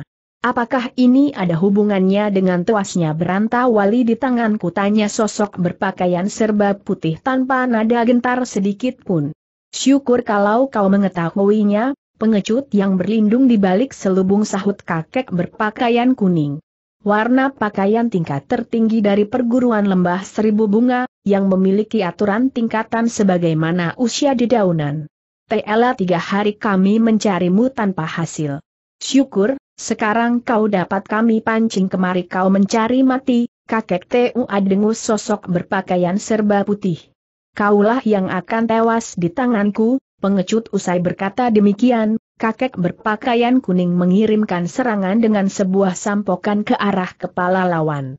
Hembusan angin keras bertiup mengiringi tibanya serangan. Sosok berpakaian serba putih hanya mendengus. Sekali kakinya dilangkahkan ke belakang, serangan lawan menyambar lewat di depan wajahnya. Lalu, dia mengirimkan tendangan kaki kanan ke arah pusar. Duk! Tubuh kakek berpakaian kuning terhuyung-huyung tiga langkah ke belakang ketika menangkis serangan dengan tangan kanannya. Sedangkan lawan terdorong mundur satu langkah. Kenyataan ini membuat ketua perguruan lembah seribu bunga murka. Sepasang sumpit terbuat dari gading gajah yang menjadi senjata andalannya dikeluarkan. Dengan senjata unik itu disambutnya serbuan sosok berpakaian serba putih. Tapi, lagi-lagi kakek berpakaian kuning kecewa. Lawannya itu ternyata sungguh luar biasa. Ia gesit sekali hingga tubuhnya dapat berkelebatan di antara tusukan-tusukan sepasang sumpitnya. Sebaliknya, setiap serangan balasan sosok berpakaian serba putih membuat ketua perguruan lembah seribu bunga pontang-panting menyelamatkan selembar nyawanya. Sebelas orang murid-murid perguruan lembah seribu bunga pun tahu kalau pimpinan mereka menghadapi bahaya. Maka, tanpa diberi perintah lagi, mereka mencabut senjata dan menyerbu ke dalam kancah pertarungan. Tapi ternyata masuknya sebelas orang murid-murid pilihan itu tidak membuat keadaan berubah jauh. Sosok berpakaian serba putih tetap tidak bisa didesak. Meskipun demikian, kedudukan kakek berpakaian kuning tidak kewalahan lagi. Sosok berpakaian serba putih memang menggiriskan. Betapapun lawan-lawannya telah berusaha sekuat tenaga untuk menjatuhkan, namun tetap saja sulit. Gerakannya terlalu cepat sehingga tak ubahnya bayangan. Tiba-tiba muncul sinar terang yang sangat menyilaukan. Lawan-lawan sosok berpakaian serba putih terpaksa memejamkan mata. Sebagian di antara mereka mengalihkan pandangan. Tapi, kakek berpakaian kuning yang telah kenyang pengalaman ini tidak berbuat seperti yang dilakukan murid-muridnya. Dia melompat ke belakang seraya memutar sepasang sumpitnya di depan dada. Tindakan yang diambil ketua perguruan lembah seribu bunga mamang tepat. Sosok berpakaian serba putih telah melakukan tindakan licik untuk mencapai kemenangan dalam waktu singkat. Dia telah mengeluarkan perisai berbentuk bulat sebesar lingkaran kepala. Perisai dari logam putih berkilat itu tentu saja memantulkan sinar matahari. Secepatnya tangan sosok berpakaian serba putih berkelebat. Dan, terdengarlah jeritan menyayat ketika jari telunjuk sosok yang berjiwa telengas itu mendarat di dahi empat orang murid perguruan lembah seribu bunga. Dahi mereka berlubang yang mengakibatkan nyawa mereka melayang ke alam baka. Tidak hanya itu saja tindakan sosok berpakaian serba putih. Sekali tangannya bergerak seorang murid yang masih muda dan cantik telah kena cekal dan dipondong di bahu kanan. Kemudian, ia melesat melarikan diri dengan kecepatan luar biasa. Keparat kakek berpakaian kuning menggeram keras. Teampa pikir panjang lagi dikejarnya sosok berpakaian serba putih. Sudah ku bilang, Jangan coba-coba memancingku. Tidak ada gunanya. Sekarang ku bawa umpan kalian ketua perguruan lembah seribu bunga semakin geram mendengar seruan itu. Sambil menggertakkan gigi, kakek berpakaian kuning itu mengerahkan seluruh kemampuan lari cepatnya agar tidak kehilangan buruannya. Tapi usaha kakek berpakaian kuning sia-sia. Semakin lama jarak antara mereka semakin jauh sosok berpakaian serba putih telah hilang di kejauhan membawa murid wanita perguruan lembah seribu bunga. Wanita yang semula digunakan kakek berpakaian kuning untuk memancing sosok berpakaian serba putih agar turun ke dalam lembah. Murid wanita itu disuruhnya berlatih di bagian lembah yang agak tinggi. Ia belajar silat sambil berteriak-teriak nyaring. Dan seperti yang sudah direncanakan, Sosok berpakaian serba putih yang diduganya akan segera melihat wanita itu. Sosok berpakaian serba putih pun turun ke dalam lembah. Rupanya, ia tertarik melihat seorang wanita cantik berlatih silat seorang diri di dalam lembah. Pengeroyokan di lembah itu dimaksudkan agar sosok berpakaian serba putih sulit untuk meloloskan diri. Ternyata dugaan itu keliru keparat begitu tiba di depan pondok sederhana yang terletak jauh di dalam hutan, sosok berpakaian serba putih mengeluarkan makian penuh kegeraman. Sepasang matanya mencorong tajam dan berwarna kehijauan seperti maco harimau dalam gelap. Dengan sepasang mata tertuju ke pondok, dilemparkannya tubuh wanita dalam pondongannya. Tubuh wanita itu dicampakkan begitu saja, sehingga jatuh berdebuk di tanah. Seringai di wajahnya menunjukkan betapa sakit tubuhnya. Teampa mempedulikan wanita itu yang menggeletak di tanah karena telah ditotok, sosok berpakaian serba putih mengayunkan langkah menuju pintu pondok. Jari-jari kedua tangannya mengepal keras. Pengecut hina. Keluar kau. Jangan bersembunyi seperti maling seiring dengan seruan itu sosok berpakaian serba putih mendorong tangan kanannya ke depan. Tidak terdengar bunyi menderu seperti pukulan jarak jauh yang mengandung tenaga dalam tinggi. Tapi kesudahannya benar-benar mengejutkan. Daun pintu pondok yang tertutup rapat hancur berkeping-keping mengeluarkan bunyi bergemuruh. Begitu hiruk pikuk itu reda, di ambang pintu telah berdiri tegak seorang pemuda tampan berambut panjang tergerai. Sikap pemuda itu kelihatan tenang sekali. Rupanya kau malingnya, ujar sosok berpakaian serba putih marah. Apa yang kau lakukan terhadap tawananku, maling hina idakah kau ingat, kalau aku tidak turun tangan, nyawamu sudah melayang di tangan gempar tidak ku sangkal sedikit pun hal itu, ucap pemuda tampan tenang. Tapi, aku tahu kau tidak berniat menolongku.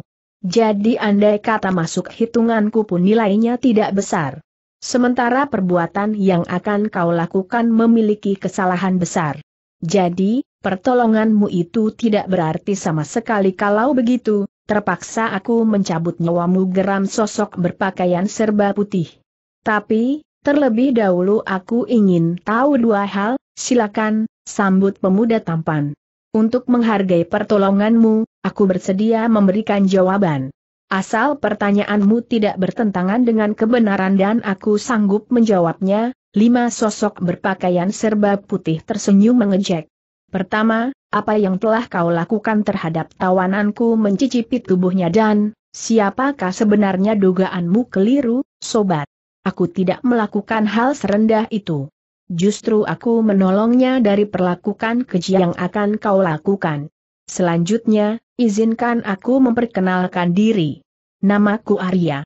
Tepatnya Arya Buana, dan kau terkenal dengan julukan Dewa Arak yang sakti potong sosok berpakaian serba putih dengan nada mengejek. Diperhatikannya sosok berpakaian ungu dan berambut panjang putih keperakan itu. Sejak tadi aku sudah menduga demikian. Hanya aku tidak yakin. Baru setelah kau menyebutkan namamu, aku percaya kau memang Dewa Arak, dan kasih apakah, sobat tanya pemuda tampan yang ternyata Arya Buana. Kepandaianmu luar biasa. Tapi, sayang kau tersesat. Menggunakan ketinggian ilmumu untuk melakukan hal yang tidak baik, teutup mulutmu. Kau boleh berbangga hati dan merasa sakti di hadapan orang lain tapi di hadapanku jangan coba-coba bersikap seperti itu. Kau bukan lawanku, Coba Arak. Bersiaplah menerima kematian atas tindakan lancang muih sosok berpakaian serba putih meluruk ke arah Dewa Arak dengan mengirimkan tusukan mematikan kedai. Bunyi mendesing yang menyakitkan telinga mengiringi serangan itu. Hehte Ampa sadar Arya mengeluarkan seruan kaget. Dia pernah melihat gerakan penyerangan seperti itu sebelumnya tapi kapan dan di mana dia lupa. Yang jelas, bentuk serangan itu tidak dilihatnya dari sosok berpakaian serba putih, melainkan orang lain. Sosok berpakaian serba putih menggeram keras melihat serangannya mengenai tempat kosong, karena Arya telah melompat melewati atas kepala. Tapi dengan kecerdikan luar biasa. Dia segera memalangkan kedua tangannya di atas kepala, berjaga-jaga terhadap serangan yang akan dilancarkan lawan. Tindakan itu membuat Dewa Arak tidak bisa melakukan serangan. Bertepatan dengan Dewa Arak menjejakkan kaki di tanah, sosok berpakaian serba putih telah membalikan tubuh.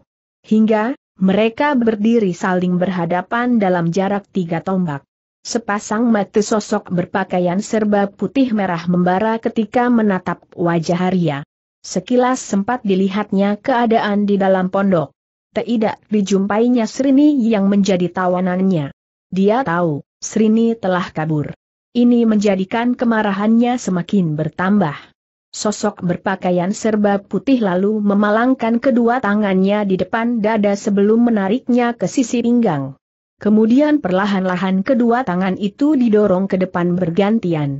Terdengar bunyi angin bertiup sangat lemah. Bahkan, hampir tidak tertangkap telinga. Arya kelihatan terkejut. Sebagai tokoh persilatan yang telah cukup punya nama, dia tahu betapa berbahayanya serangan lawan. Semakin halus bunyi yang terdengar berarti semakin kuat tenaga dalam yang terkandung. Kesadaran akan adanya bahaya membuat Arya tidak berani menangkis. Dia belum mengetahui kekuatan tenaga dalam itu. Tapi, wajah pemuda berambut putih keperakan itu langsung pucat ketika menyadari kedua kakinya tidak mampu digeser dari tempatnya. Ada kekuatan dahsyat yang tidak tampak telah membelenggunya. Betapapun Arya memaksa, tetap saja sia-sia. Maka, dengan sangat terpaksa dipapaknya serangan itu dengan jurus pukulan belalang. Bres. Keluhan tertahan dikeluarkan Dewa Arak ketika benturan terjadi. Tubuh pemuda itu terpental jauh ke belakang dan melayang-layang, lalu jatuh terguling-guling di tanah. Sementara lawannya terhuyung-huyung beberapa langkah ke belakang, dan mampu memperbaiki kedudukannya kembali. Gulingan tubuh Arya terhenti ketika menabrak sepasang kaki bulat pendek yang berdiri menjejak tanah. Dengan pandangan mata nanar pemuda itu menengok ke atas. Dilihatnya dua raut wajah. Salah satu di antaranya dikenalinya. Pemilik kaki bulat pendek itu adalah Gempar. Sementara sosok yang satu tidak diketahui Arya. Tapi pemuda yang cerdik itu tahu kalau sosok yang berdiri di sebelah gempar dan memiliki sikap tidak kalah angker mempunyai hubungan dengan Brantawali. Ini bisa diketahui pakaian kakek itu yang berkembang-kembang, meskipun berwarna kuning. Teampa mempedulikan keadaan Arya, Gempar, dan ketua perguruan lembah seribu bunga melewati tubuh pemuda berambut putih keperakan itu. Dihampirinya sosok berpakaian serba putih yang masih berdiri di tempatnya dengan sikap tenang. Hihihi sosok berpakaian serba putih tertawa terkekeh. Rupanya kalian sudah ingin melayat ke akhirat, He sehingga tidak sabar lagi untuk segera kubunuh, manusia terkutuk. Kaulah yang harus mati atas tindakan kejimu yang telah membunuh murid-muridku tandas kakek berpakaian kuning marah. Serahkan tawanan itu padaku, penculik hina ujar gempar tak kalah keras sambil tersenyum lebar yang merupakan ciri khasnya. Barangkali saja dengan tindakan itu aku bisa mengampunimu. Tapi, tentu saja dengan pertimbangan-pertimbangan tertentu kalian singa-singa ompong. Berani benar memamerkan mulut yang bau di hadapanku mumpung aku masih bersikap baik, cepatlah pergi dari sini. Jangan tunggu sampai aku berubah pikiran sombong maki ketua perguruan lembah seribu bunga. Kaulah yang harus mampus seperti telah disepakati sebelumnya, kedua tokoh itu melompat menerjang sosok berpakaian serba putih gempar menyerang dari kanan, sementara kakek berpakaian kuning dari arah kiri. Masing-masing mengeluarkan ilmu andalannya. Namun lawan yang memang memiliki kepandaian tinggi. Sekali kakinya digerakkan dia telah membuat serangan kedua tokoh itu mengenai tempat kosong. Bahkan, mampu mengirimkan serangan balasan yang tidak kalah dahsyat. Dalam sekejap ketiga tokoh tingkat tinggi itu telah terlibat pertarungan sengit jalannya pertarungan sempat disaksikan Arya.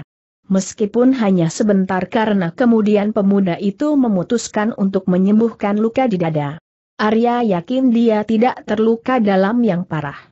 Pemuda berambut putih keperakan itu tenggelam dalam semadinya, setelah sempat merasa bingung memikirkan mengapa Gempar bisa berada di sini bersama seorang kawan yang memiliki kepandaian tinggi pula.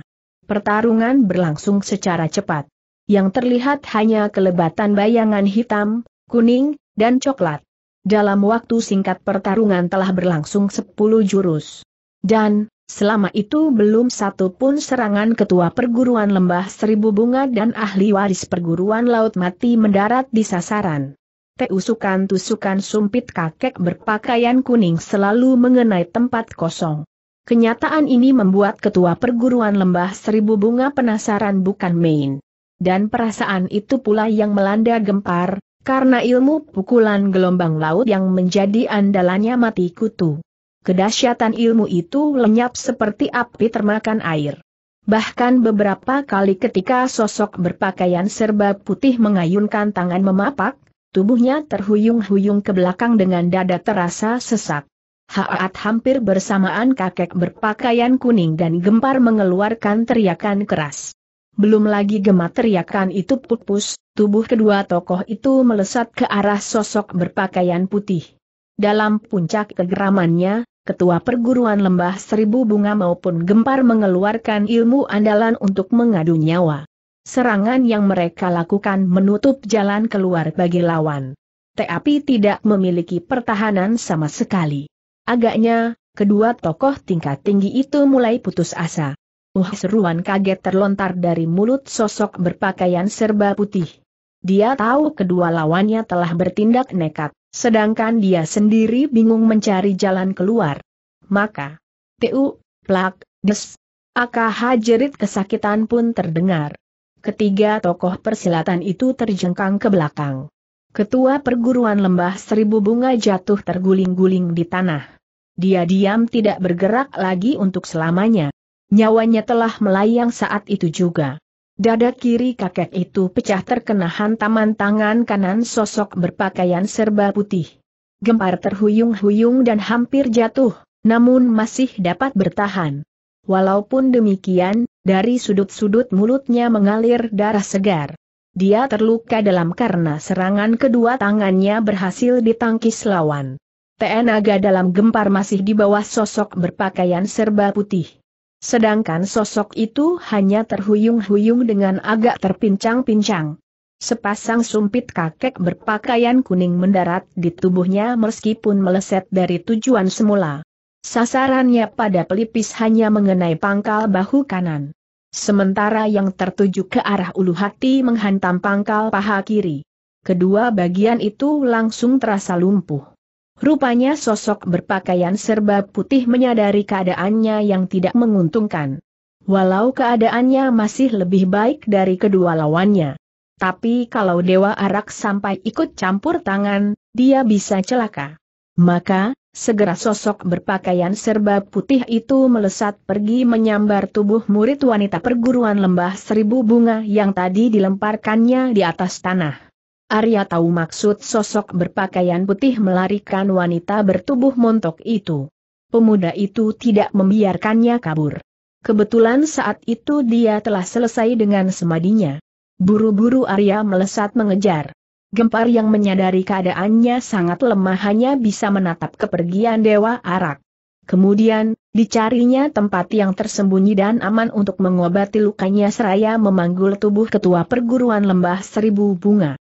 Sempat terbayang pertemuannya dengan ketua perguruan lembah seribu bunga yang menyebabkan mereka bekerja sama. Gempar penasaran bukan main atas kejadian yang menimpa rombongannya sewaktu mengawal tawanan beberapa hari yang lalu. Maka, begitu rombongan telah sampai di kerajaan, dia mohon diri untuk mencari sosok berpakaian serba putih guna membuat perhitungan. Pada saat yang sama, beberapa prajurit kerajaan diutus untuk menyampaikan berita kematian beranta wali ke perguruan lembah seribu bunga. Baru tiga hari kemudian, dia melihat kakek berpakaian kuning tengah berlari cepat sambil menampakkan sikap marah. Setelah disusul dan ditanya, mereka bersepakat akan menghadapi sosok berpakaian serba putih bersama-sama. Semula kedua tokoh itu yakin sekali akan dapat menamatkan riwayat tokoh tingkat tinggi itu. Tetapi, ternyata harapan hanya tinggal harapan. Usaha mereka kandas entah bagaimana lagi Carol membinasakan sosok berpakaian serba putih. Gempar menggeleng-gelengkan kepalanya Hup dengan melompat tinggi melewati kepala sosok berpakaian serba putih, Arya bersalto beberapa kali di udara, kemudian mendarat beberapa tombak di depannya. Dewa Arak berhasil menghadang lari sosok berpakaian serba putih. Itu pun setelah terjadi kejar mengejar yang cukup lama dan melelahkan. Sosok berpakaian serba putih itu terpaksa menghentikan larinya. Dengan sorot mata beringas ditatapnya pemuda berambut putih keperakan yang berada di depannya. Kau merasa yakin mampu mengalahkanku, Dewa Arak begitu beraninya kau menghadang perjalananku. Apakah karena luka yang kuderita kau keliru kalau begitu? Meskipun terluka, aku masih mampu membunuhmu usai berkata demikian, tanpa menunggu tanggapan Arya, Sosok berpakaian serba putih menurunkan tubuh yang terpanggul di bahu kanannya. Arya segera bersiap. Dia tahu lawannya luar biasa tangguh meski telah terluka. Ek Arya tidak tahan untuk menahan jeritan ketika sosok berpakaian serba putih dengan tidak disangka-sangka melemparkan tubuh yang dipanggulnya ke arah Dewa Arak. Tentu saja pemuda itu kebuakan karena tidak menyangkanya. Tanpa pikir panjang lagi diulurkannya kedua tangan untuk menerima, agar tubuh wanita cantik itu tidak terluka bila jatuh ke tanah. Teap. Baru saja tubuh wanita itu berhasil ditangkapnya, sosok berpakaian serba putih melakukan gerakan mendorong dengan tangan kiri. Untuk kedua kalinya Dewa Arak kewalahan. Tetapi meskipun demikian, pemuda berambut putih keperakan itu tidak kehilangan akal. Dia melakukan gerakan yang sama. Sayang, Arya tidak sempat mengerahkan seluruh tenaga dalamnya. Blar, tubuh Arya terlempar jauh. Murid wanita perguruan lembah seribu bunga yang berada di bahunya terjatuh. Biur. Setelah meluncur beberapa lama Arya jatuh ke dalam sebuah sungai yang berada sepuluh tombak di belakangnya. Dan, tubuh yang tak sadarkan diri itu segera dibawa arus sungai yang deras. Sepasang mata sosok berpakaian serba putih berbinar gembira. Tetapi, kemudian tubuhnya agak terbungkuk seraya menekan dada. Kalau saja tidak ada selubung yang menutup wajahnya akan terlihat ada seringai di sana. Sebenarnya, benturan dengan Dewa Arak tidak akan memengaruhinya kalau saja saat itu dia tidak sedang terluka. Dengan langkah agak terhuyung sosok berpakaian serba putih menghampiri tubuh murid wanita perguruan lembah seribu bunga. Dipondongnya tubuh itu dan dibawa pergi meninggalkan tempat itu Teolong. Tolo-oong jeritan melengking penuh ketakutan dan suara derap langkah kaki, memecah kesunyian di dalam hutan lebat itu. Te ampak seorang wanita muda yang berusia sekitar 20 tahun berlari kencang. Napasnya terdengar memburu. Namun, kakinya terus saja diayunkan. Beberapa tombak di belakang wanita cantik yang berpakaian biru itu berlari beberapa lelaki berwajah kasar. Sambil tertawa-tawa mereka mengejar. Larilah terus, manis. Lari, ucap lelaki berkumis tebal yang berlari paling depan. Sementara itu, Wanita berpakaian biru terus saja berlari sambil menjerit-jerit minta tolong. Tapi rupanya dia telah merasa lelah. Beberapa kali tubuhnya terhuyung dan hampir jatuh. Sehingga mengundang gelak tawa para pengejarnya. Namun, ayunan kaki wanita itu mendadak cepat dan bersemangat ketika melihat dua sosok tubuh di depannya. Mereka tengah berjalan ke arahnya. Teolo Oong seru wanita berpakaian biru sambil melambaikan tangan. Rupanya, orang yang dimintai tolong mendengar jeritan itu. Langkah mereka yang hanya semula bergerak lambat menjadi cepat. Bahkan, terlihat mereka berlari.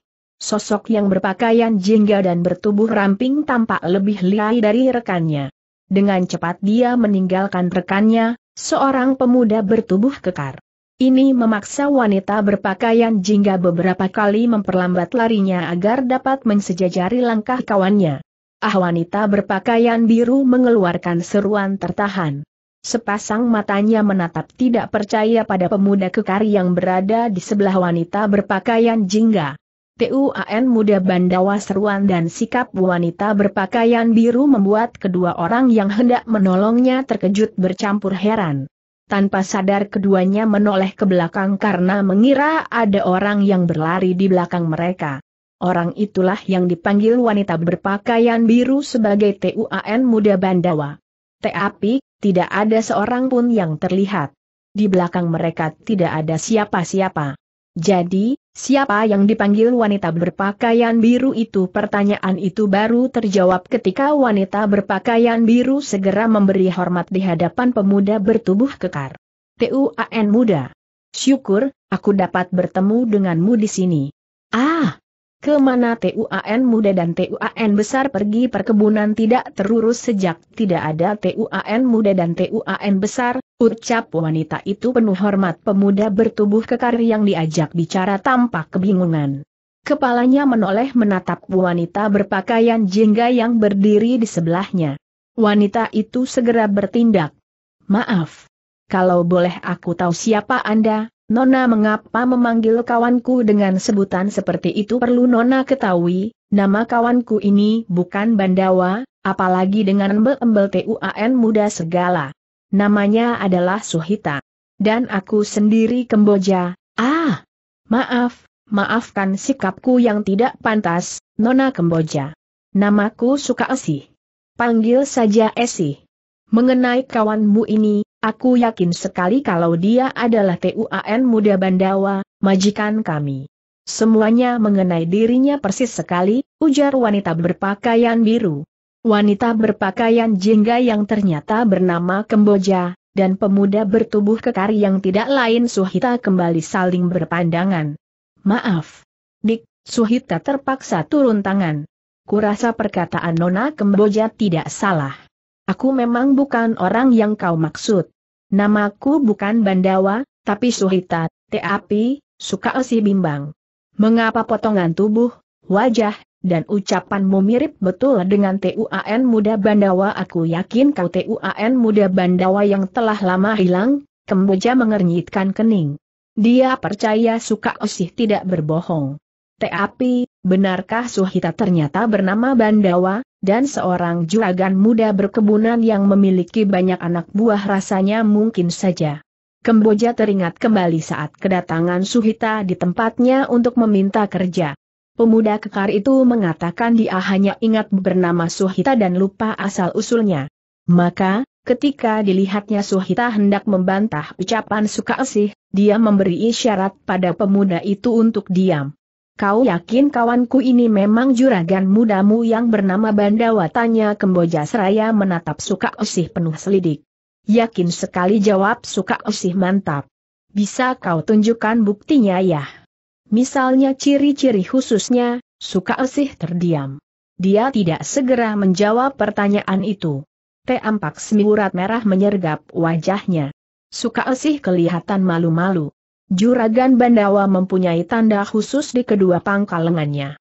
Itu ku ketahui ketika beliau berlatih silat. Maaf, aku memergokinya secara tak sengaja.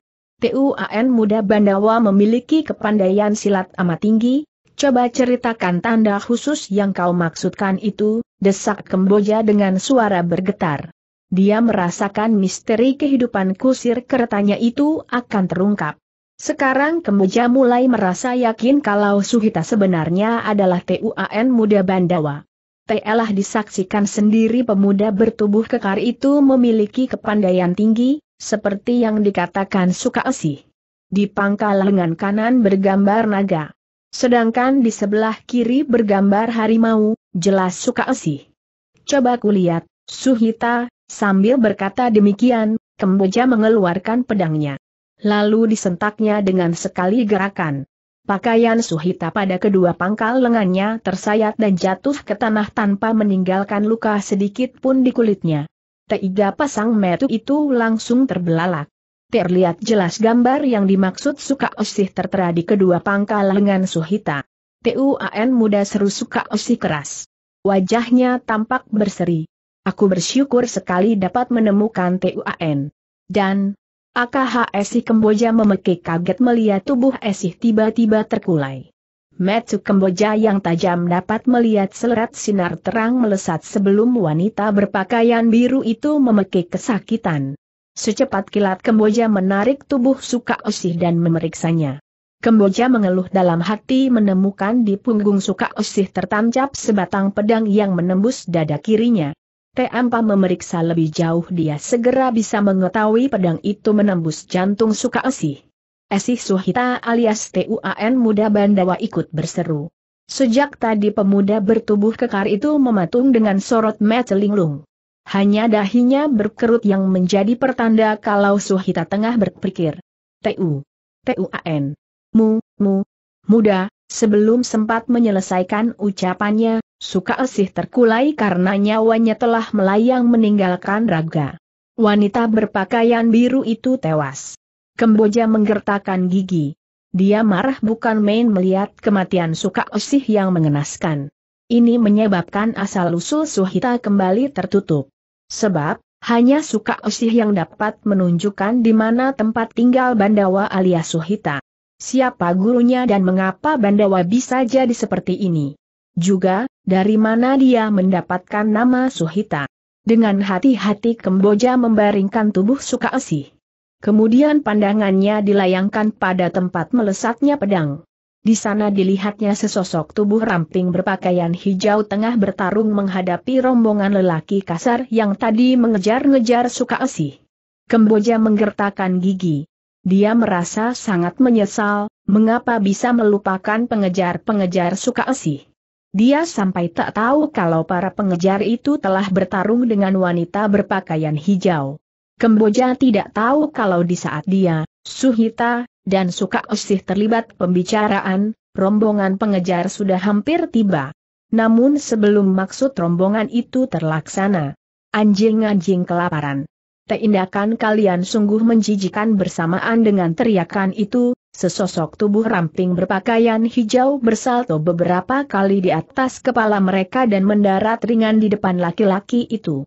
Sebuah pedang telanjang tergenggam di tangannya rombongan lelaki kasar itu langsung menghentikan lari. Ditatapnya sosok di hadapan mereka sejenak sebelum akhirnya mengumbar tawa gembira penuh ejekan. Luar biasa sekali, kawan-kawan, seru lelaki berkumis tebal yang menjadi pimpinan sambil menoleh ke belakang. Hari ini kita amat beruntung. belum juga kelinci lunak berhasil kita dapatkan, sudah ada lagi kuda betina liar yang minta dijinakan. Hahaha jawaban bagi ucapan lelaki berkumis tebal itu adalah tusukan pedang wanita cantik berpakaian hijau yang mengarah ke lehernya. Kenyataan ini membuat pimpinan lelaki kasar terkejut bukan main. Namun cepat dia bertindak dengan melempar tubuhnya ke belakang. Keparat lelaki berkumis tebal menggeram keras ketika berhasil lolos dari maut. Hampir saja nyawanya melayang ke alam baka. Kuda liar ini cukup alot juga rupanya. Mari kita taklukkan dia, kawan-kawan lelaki berkumis tebal mencabut senjatanya. Lalu, bersama dengan lima rekannya mereka meluruk maju menerjang gadis berpakaian hijau. Tak pelak lagi pertarungan sengit pun terjadi. Wanita berpakaian hijau ternyata memiliki kepandaian mengagumkan. Pedang di tangannya menyabar-nyambar laksana halilintar. Kalau saja orang-orang kasar itu tidak melakukan pengeroyokan, dengan mudah wanita berpakaian hijau akan dapat merobohkan mereka. Namun kenyataan menghendaki lain. Tambahan lagi, orang-orang kasar itu telah terbiasa bertarung untuk menyabung nyawa, sehingga penuh pengalaman dan tipu daya. Ini menjadikan keunggulan wanita berpakaian hijau tertutupi. Setelah pertarungan berlangsung sepuluh jurus, dengan gerak luar biasa wanita berpakaian hijau melakukan gerakan mengait, sehingga pedang di tangan lelaki berkumis tebal terlepas. Tetapi sayangnya, dia kurang memperhitungkan keberadaan orang di belakangnya. Maka, pedang lelaki berkumis tebal itu pun meluncur deras menembus punggung suka osi enam diawali teriakan melengking nyaring, dengan pedang di tangan, Kemboja melompat memasuki arena pertarungan. Tapi, sebelum gadis berpakaian jingga itu berhasil masuk, terdengar geraman keras yang telah sering didengarnya. Geraman seperti seekor binatang buas murka. Walaupun sebenarnya keluar dari mulut Suhita alis Tuan muda Bandawa. Dan sebelum Kemboja sempat menoleh, di sebelahnya bertiup angin dingin. Kelebatan sosok yang tidak jelas melesat memasuki arena pertempuran. Sosok yang tidak lain Suhita langsung bertindak. Kedua tangannya yang terkepal kecuali jari telunjuk, melancarkan totokan-totokan dahsyat. Tentu saja keenam lelaki kasar itu tidak membiarkan begitu saja serangan Suhita mendarat di tubuh mereka. Maka, sedapat mungkin dipapakinya. Bahkan mengirimkan serangan balasan. Tapi, sayang sebagian dari mereka gagal. Gerakan tangan Suhita alias Bandawa terlalu cepat untuk dapat diikuti mati mereka. Jari telunjuk Bandawa telah lebih dulu membuat lubang di dahi mereka. Dengan jeritan menyayat hati tubuh orang-orang kasar itu pun roboh ke tanah. Tewas. Tiga di antara orang-orang kasar yang berhasil menangkis mengalami keterkejutan tidak kalah hebat. Golok yang dipakai untuk menangkis jadi berlubang. Bahkan senjata itu sampai terlempar dari genggaman. Sebelum ketiga orang itu tersadar dari keterkejutannya, tangan-tangan Bandawa telah kembali meluncur. Dan, ketiga orang itu pun menyusul rekan-rekannya yang telah lebih dulu melayat ke akhirat. Kejadian itu hanya berlangsung satu gebrakan saja. Sehingga wanita berpakaian hijau tidak sempat berbuat sesuatu. Dia terkejut bukan main melihat lawan-lawannya telah bergeletakan tanpa nyawa. Dan sebelum wanita itu menyadari sepenuhnya apa yang terjadi, Suhita telah menerjang ke arahnya dengan jari telunjuk lurus terbuka. Wanita berpakaian hijau tidak melihat dengan jelas jari telunjuk yang meluncur ke arah dahinya. Tapi, dia sempat melihat kelebatan sesosok bayangan. Wanita itu segera tahu ada bahaya yang tengah mengancamnya. Maka, dengan untung-untungan pedang dibabatkan ke arah sosok yang berkelebat itu. Teak. Babatan pedang wanita berpakaian hijau membentur pergelangan tangan Bandawa. Pedang itu pun langsung terlepas dari pegangan dan terlempar jauh. Sedang tangan pemiliknya tergetar hebat. Tapi akibat tangkisan itu jari telunjuk Bandawa tertahan sejenak. Dan ketika meluncur lagi, wanita berpakaian hijau telah mempunyai kesempatan untuk mengelak dengan melempar tubuhnya ke belakang. Namun Bandawa benar-benar mempunyai kepandaian menggiriskan dan tidak masuk akal. Meski lawannya telah melempar tubuh ke belakang, Jari telunjuk Bandawa terus meluncur mengikuti ke mana wanita itu pergi. Bandawa. Teahan seruan keras dan tinggi yang diucapkan dengan penuh kekhawatiran itu membuat Bandawa, yang jari telunjuknya baru saja akan menembus dahi wanita berpakaian hijau, tertahan di udara. Dengan pandang mata masih beringas ditatapnya wanita berpakaian hijau kelinglungan. Tapi rupanya pemilik suara itu cukup mempunyai pengaruh terhadap dirinya, hingga Bandawa tidak berani melanjutkan serangannya. Jika pemuda bertubuh kekar ini meneruskan, nyawa wanita berpakaian hijau itu pasti akan melayang. Ini disadari oleh lawan Bandawa. Karena itu dahinya dipenuhi keringat dingin sebesar biji-biji jagung. Sedangkan pemilik seruan tadi yang ternyata Kemboja, mengayunkan langkah mendekati. Tiba-tiba Bandawa mengeluarkan keluhan tertahan. Kedua tangannya sibuk memegangi kepala tubuhnya limbung ke sana kemari. Karuan saja wanita berpakaian hijau sangat heran. Meskipun wajahnya menyiratkan kelegaan karena nyawanya telah lolos dari lubang jarum, dia bingung melihat keadaan lawannya yang mendadak seperti orang sakit. Dengan disertai keluhan panjang tubuh Bandawa ambruk ke tanah. Wanita berpakaian hijau itu pun tahu Bandawa jatuh pingsan. Serini sapaan itu membuat wanita berpakaian hijau menolehkan kepala. Dia merasakan ada getaran aneh pada suara itu. Ditatapnya lekat-lekat wajah Kemboja. Kemboja pekik wanita berpakaian hijau. Kaukah itu ah? Sungguh tidak disangka kau berada di sini. Lalu, mana yang lainnya Kemboja tidak menjawab. Kedua tangannya terkembang hendak memeluk wanita berpakaian hijau. Serini segera menyambutnya, kedua wanita itu pun saling berpelukan erat. Panjang ceritanya, Serini, jawab Kemboja setelah melepaskan pelukannya. Kemboja dan Serini adalah anak kandung lelaki setengah baya yang dipenggal kepalanya oleh gempar. Mereka berdua anak kembar.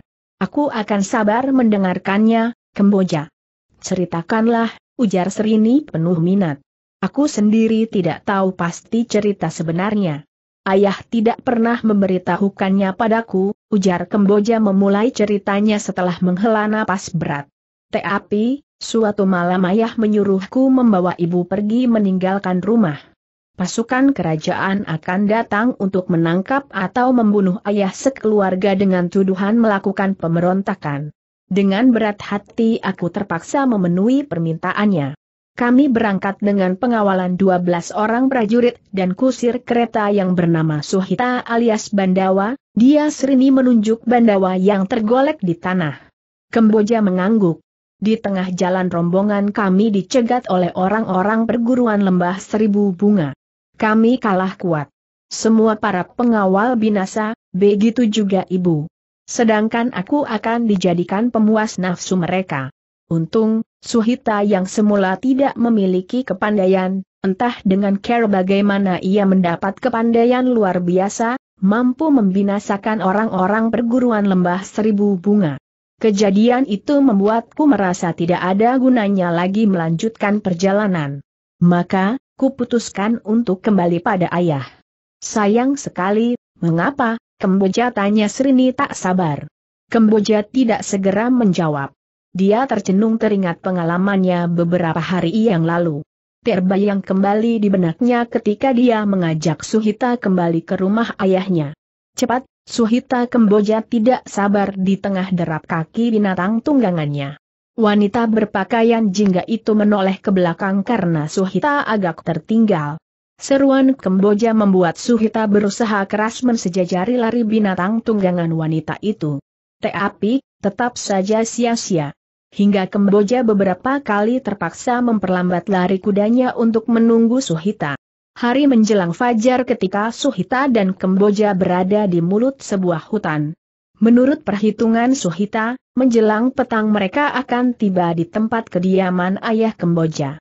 Itu kalau perjalanan terus dilakukan dengan cepat. Tapi sebelum kuda-kuda Suhita dan Kemboja berhasil keluar dari hutan, terdengar bunyi berdesing nyaring. Tahu-tahu di depan mereka telah menancap sebatang tombak yang pada gagangnya dililit rantai baja berhias tulang tengkorak manusia. Melihat besarnya yang tidak wajar, agaknya tengkorak itu adalah tengkorak anak kecil. Kejadian yang tidak disangka-sangka ini membuat Suhita dan Kemboja menarik tali kekang untuk menghentikan lari binatang-binatang itu. Baru saja kuda-kuda itu berhenti, terdengar bunyi berkerosak. Di sekeliling mereka telah berdiri banyak orang-orang berwajah kasar. Suhita dan Kemboja segera tahu mereka tengah berhadapan dengan gerombolan perampok. Hihihi seorang lelaki bertubuh tinggi besar dan berotot kuat laksana seekor benteng tertawa terkekeh menatap Kemboja dengan kurang ajar. Mimpi apa aku semalam sehingga sekarang bertemu dengan seorang bidadari Te urunlah, manis. Dan mari ikut aku. Percayalah. Kau akan bahagia bila bersama denganku. Tinggalkan orang jelek itu ucapan lelaki tinggi besar langsung disambut dengan tawa kurang ajar lelaki kasar lainnya. Seperti juga lelaki tinggi besar, mereka memandang Kemboja dengan penuh minat. Kemboja yang menjadi sasaran kekaguman penuh nafsu birahi laki-laki kasar itu jadi mual perutnya. Dia kesal bukan main. Sejak tadi dia sudah menghunus pedangnya. Tapi ditahannya karena menunggu tindakan Suhita. Dia yakin Suhita memiliki kepandaian, namun sengaja disembunyikan. Ingin diketahui, Apakah pemuda itu akan tetap berpura-pura tidak bisa bersilat bila gerombolan perampok mulai menyerang? Harap kalian sudi menyingkir dan memberi jalan pada kami, ucap Suhita Seraya memajukan kuda hingga berdekatan dengan lelaki tinggi besar yang menjadi pimpinan orang-orang kasar. Kami sedang buru-buru. Atas pengertian kalian ku ucapkan terima kasih yang tak terhingga, ah, Begitu kiranya sambut lelaki tinggi besar dengan mengulum senyum. Sinar matanya penuh ejekan. Tentu saja aku tidak akan menghalangi kepergianmu. Pergilah. Kami tidak akan menghalangi, ah! Terima kasih atas kebaikanmu, sobat. Sudah kuduga kau adalah orang yang bijaksana, ucap Suhita sambil memberi hormat. Mari, Nona. Kita tinggalkan tempat ini. Kita harus bergegas agar tiba di sana pada waktunya, Kemboja pun bersiap-siap akan menggebah kudanya. Te api. Te unggu dulu, anak muda sergah lelaki tinggi besar membuat Suhita mengalihkan pandangan ke arahnya. Rupanya kau tidak menyimak ucapanku. Ku katakan, kau boleh meninggalkan tempat ini. Tapi mengapa harus mengajaknya da akan tetap tinggal di sini karena harus menjadi istriku, keparat Kemboja sudah tidak tahan lagi menahan sabar. Dihunus pedangnya hingga menimbulkan kilatan sinar yang menyilaukan mata. Sambil memegang tali kekang kuda dengan tangan kiri, senjata itu ditusukkan ke leher lelaki tinggi besar. Lihai lelaki itu berteriak memuji. Tapi dia tidak berdiam diri. Teangannya bergerak cepat. Tahu-tahu di tangan kirinya tergenggam sebuah perisai berbentuk bulat. Dengan alat pertahanan itu dipapaknya serangan Kemboja. Terang. Kemboja menyeringai ketika merasakan tangannya tergetar hebat. Dia tahu tenaga dalam lawan jauh lebih kuat. Dan sebelum gadis berpakaian jingga itu melancarkan serangan kembali, tangan kanan lelaki tinggi besar telah bergerak meraih sehelai cambuk. Senjata itu langsung dilecutkan pada Kemboja meluncurlah ujung cambuk ke arah bahu kanan gadis itu. Rupanya, lelaki tinggi besar ingin melumpuhkan perlawanan Kemboja. Serangan ini memaksa Kemboja untuk melompat dari punggung kudanya dan mendarat di tanah. Sangat sulit baginya bertarung di atas punggung binatang itu. Sesaat kedua kakinya menjejak tanah, Suhita yang melihat majikannya diserang segera bertindak. Pemuda bertubuh kekar itu memajukan kudanya menghalangi langkah lelaki tinggi besar. Karuan saja pemimpin orang-orang kasar itu marah. Serangan susulan cambuk yang semula ditujukan pada Kemboja kini dikarahkan pada Suhita. Cetar! Suhita linglung melihat kelebatan sinar hitam kemerahan meluncur ke arah kepalanya. Dia tidak tahu kalau yang diserang lawan adalah ubun-ubunnya, bagian yang mematikan. Yang dilakukan Suhita hanya tertegun. Tak tahu harus berbuat apa. Rupanya, malaikat maut belum berminat mengambil nyawa Suhita. Di saat yang gawat itu muncullah binatang penolong.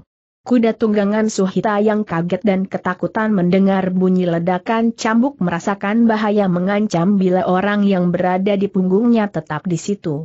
Ia meringkik panjang seraya mengangkat kedua kaki depannya tinggi ke udara. Tindakan kuda itu membuat tubuh Suhita jatuh berdebok ke tanah. Maka, dia pun selamat dari bahaya maut. Tapi, pemuda itu benar-benar tidak mampu berbuat apa pun. Saat tubuhnya jatuh ke tanah dia tidak melakukan gerakan yang membuat kedua kakinya mendarat lebih dulu. Akibatnya, belakang kepalanya lebih dulu membentur tanah. Seketika itu juga Suhita tak sadarkan diri. Kemboja menggeram keras melihat Suhita tidak berdaya. Dia khawatir pemuda bertubuh kekar yang diyakininya pandai bermain silat itu tewas. Maka, dengan kemarahan yang memuncak diserangnya lelaki tinggi besar itu. Seperti juga sebelumnya, pimpinan perampok itu langsung menyambutnya. Pertarungan pun kembali berlangsung. Kemboja berjuang keras mengirimkan serangan-serangan maut. Sedangkan lelaki tinggi besar melayani dengan sikap tenang. Serangan-serangan yang dikirimkannya tidak ada yang mematikan, karena memang ingin menangkap Kemboja hidup-hidup ujung cambuknya selalu meluncur menuju tempat-tempat yang tidak terbahaya. Tindakan yang dilakukan lelaki tinggi besar membuatnya rugi sendiri. Karena sikap mengalahnya, perisai dan cambuknya dapat dijatuhkan Kemboja. Sehingga ia terpaksa mengeluarkan golok dan memerintahkan anak buahnya untuk membantu. Kemboja pun dikeroyok enam orang lelaki kasar. Dalam beberapa gebrakan saja dia sudah terdesak hebat tapi karena mereka ingin menangkapku hidup-hidup, jalannya pertarungan jadi lama, ujar Kemboja terus melanjutkan ceritanya.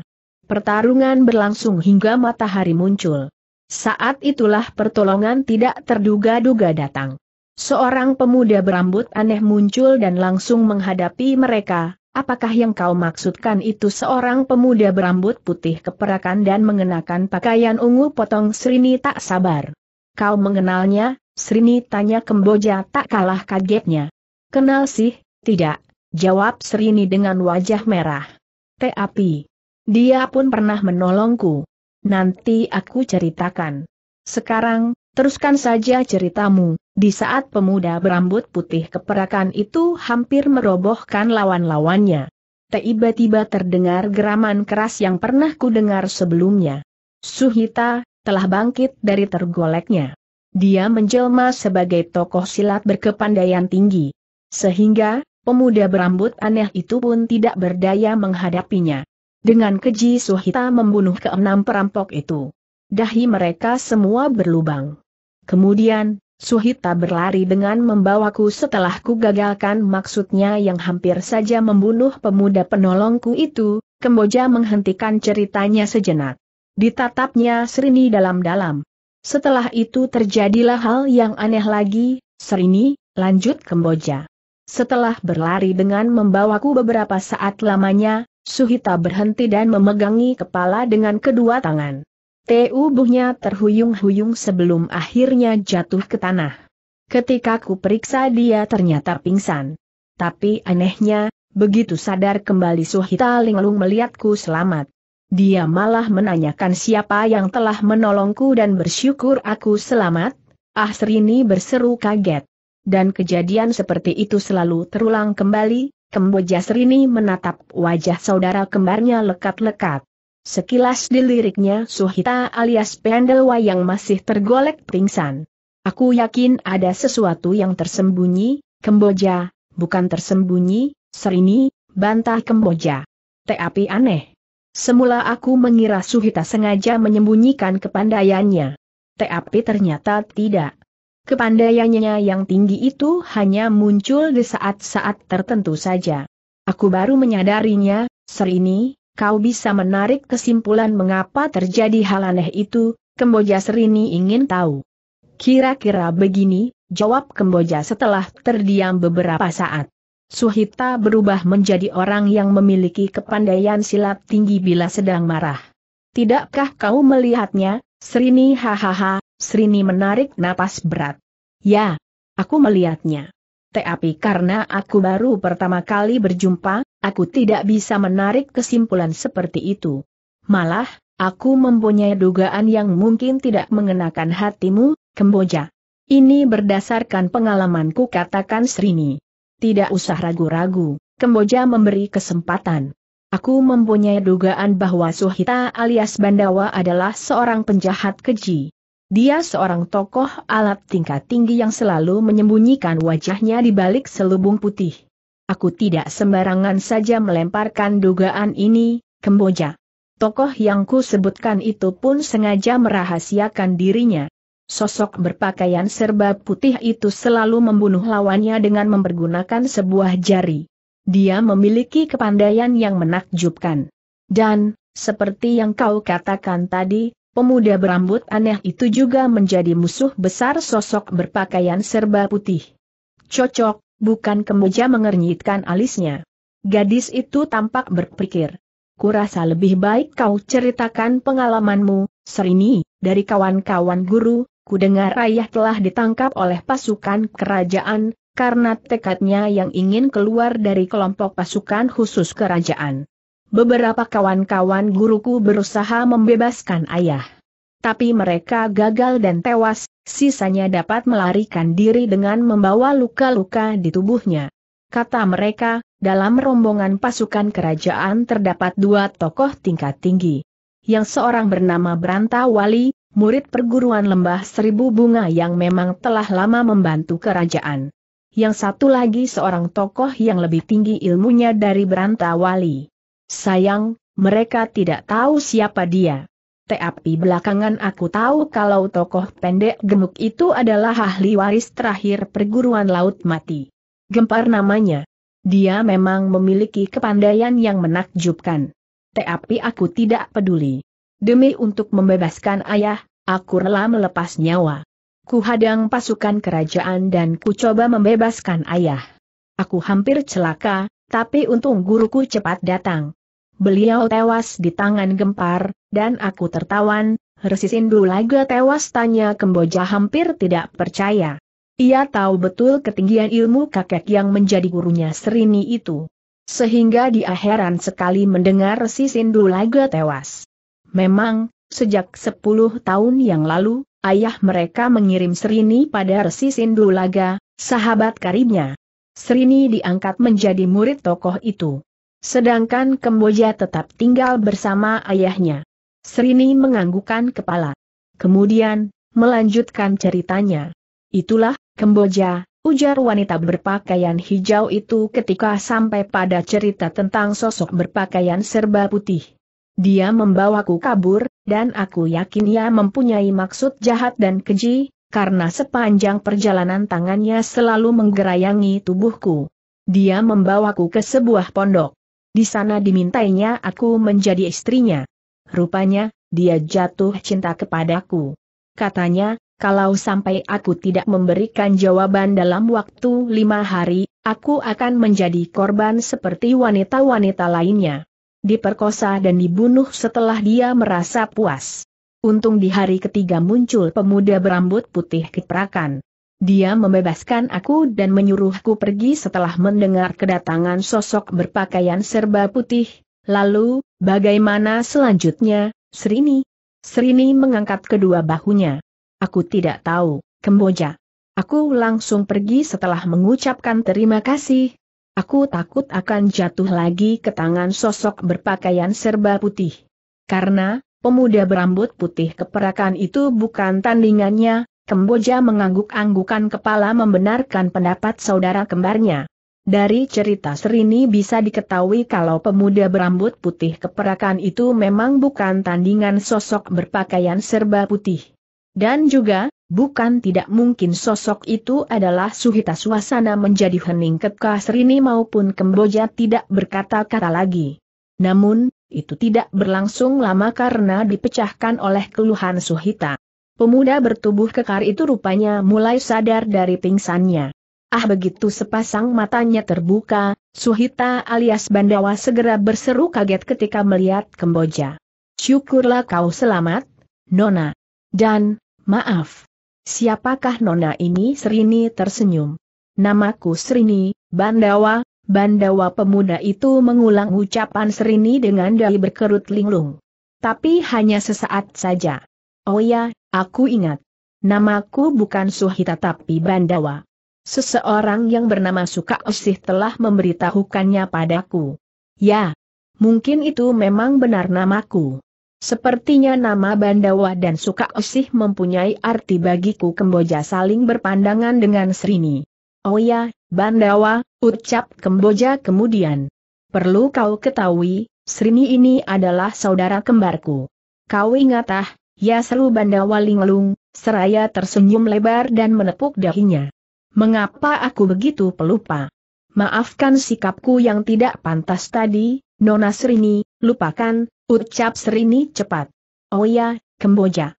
Bagaimana kalau kita pergi menjumpai pemuda berambut aneh itu, maksudku ke tempat di mana aku ditahan. Barangkali saja mereka masih ada. Setidak-tidaknya jika penolong kita itu tewas, kita dapat mengurus mayatnya. Hitung-hitung sebagai balas budi kita, aku sih setuju saja, Serini. Dia memang tampan, kok, goda Kemboja. Tapi, Jauhkah tempat itu kau ngaco? Kemboja sergah Serini dengan wajah memerah. Kalau kau mau tahu juga, perjalanan ke sana membutuhkan waktu sehari penuh, jadi, ucap Kemboja setelah tercenung. Kita telah ketinggalan waktu sehari semalam, Serini terdiam. Apa yang dikatakan saudara kembarnya memang benar. Lalu, bagaimana kalau kita bertemu sosok berpakaian serba putih di tengah jalan apa yang akan kau lakukan? Serini menunggu pemuda berambut aneh itu menolongmu Kemboja kelihatan bimbang. Mengapa kau begini bodoh? Kemboja ujar Serini sambil melirik Bandawa. Sejenak Kemboja membisu. Tapi akhirnya dia mengerti maksud lirikan Serini.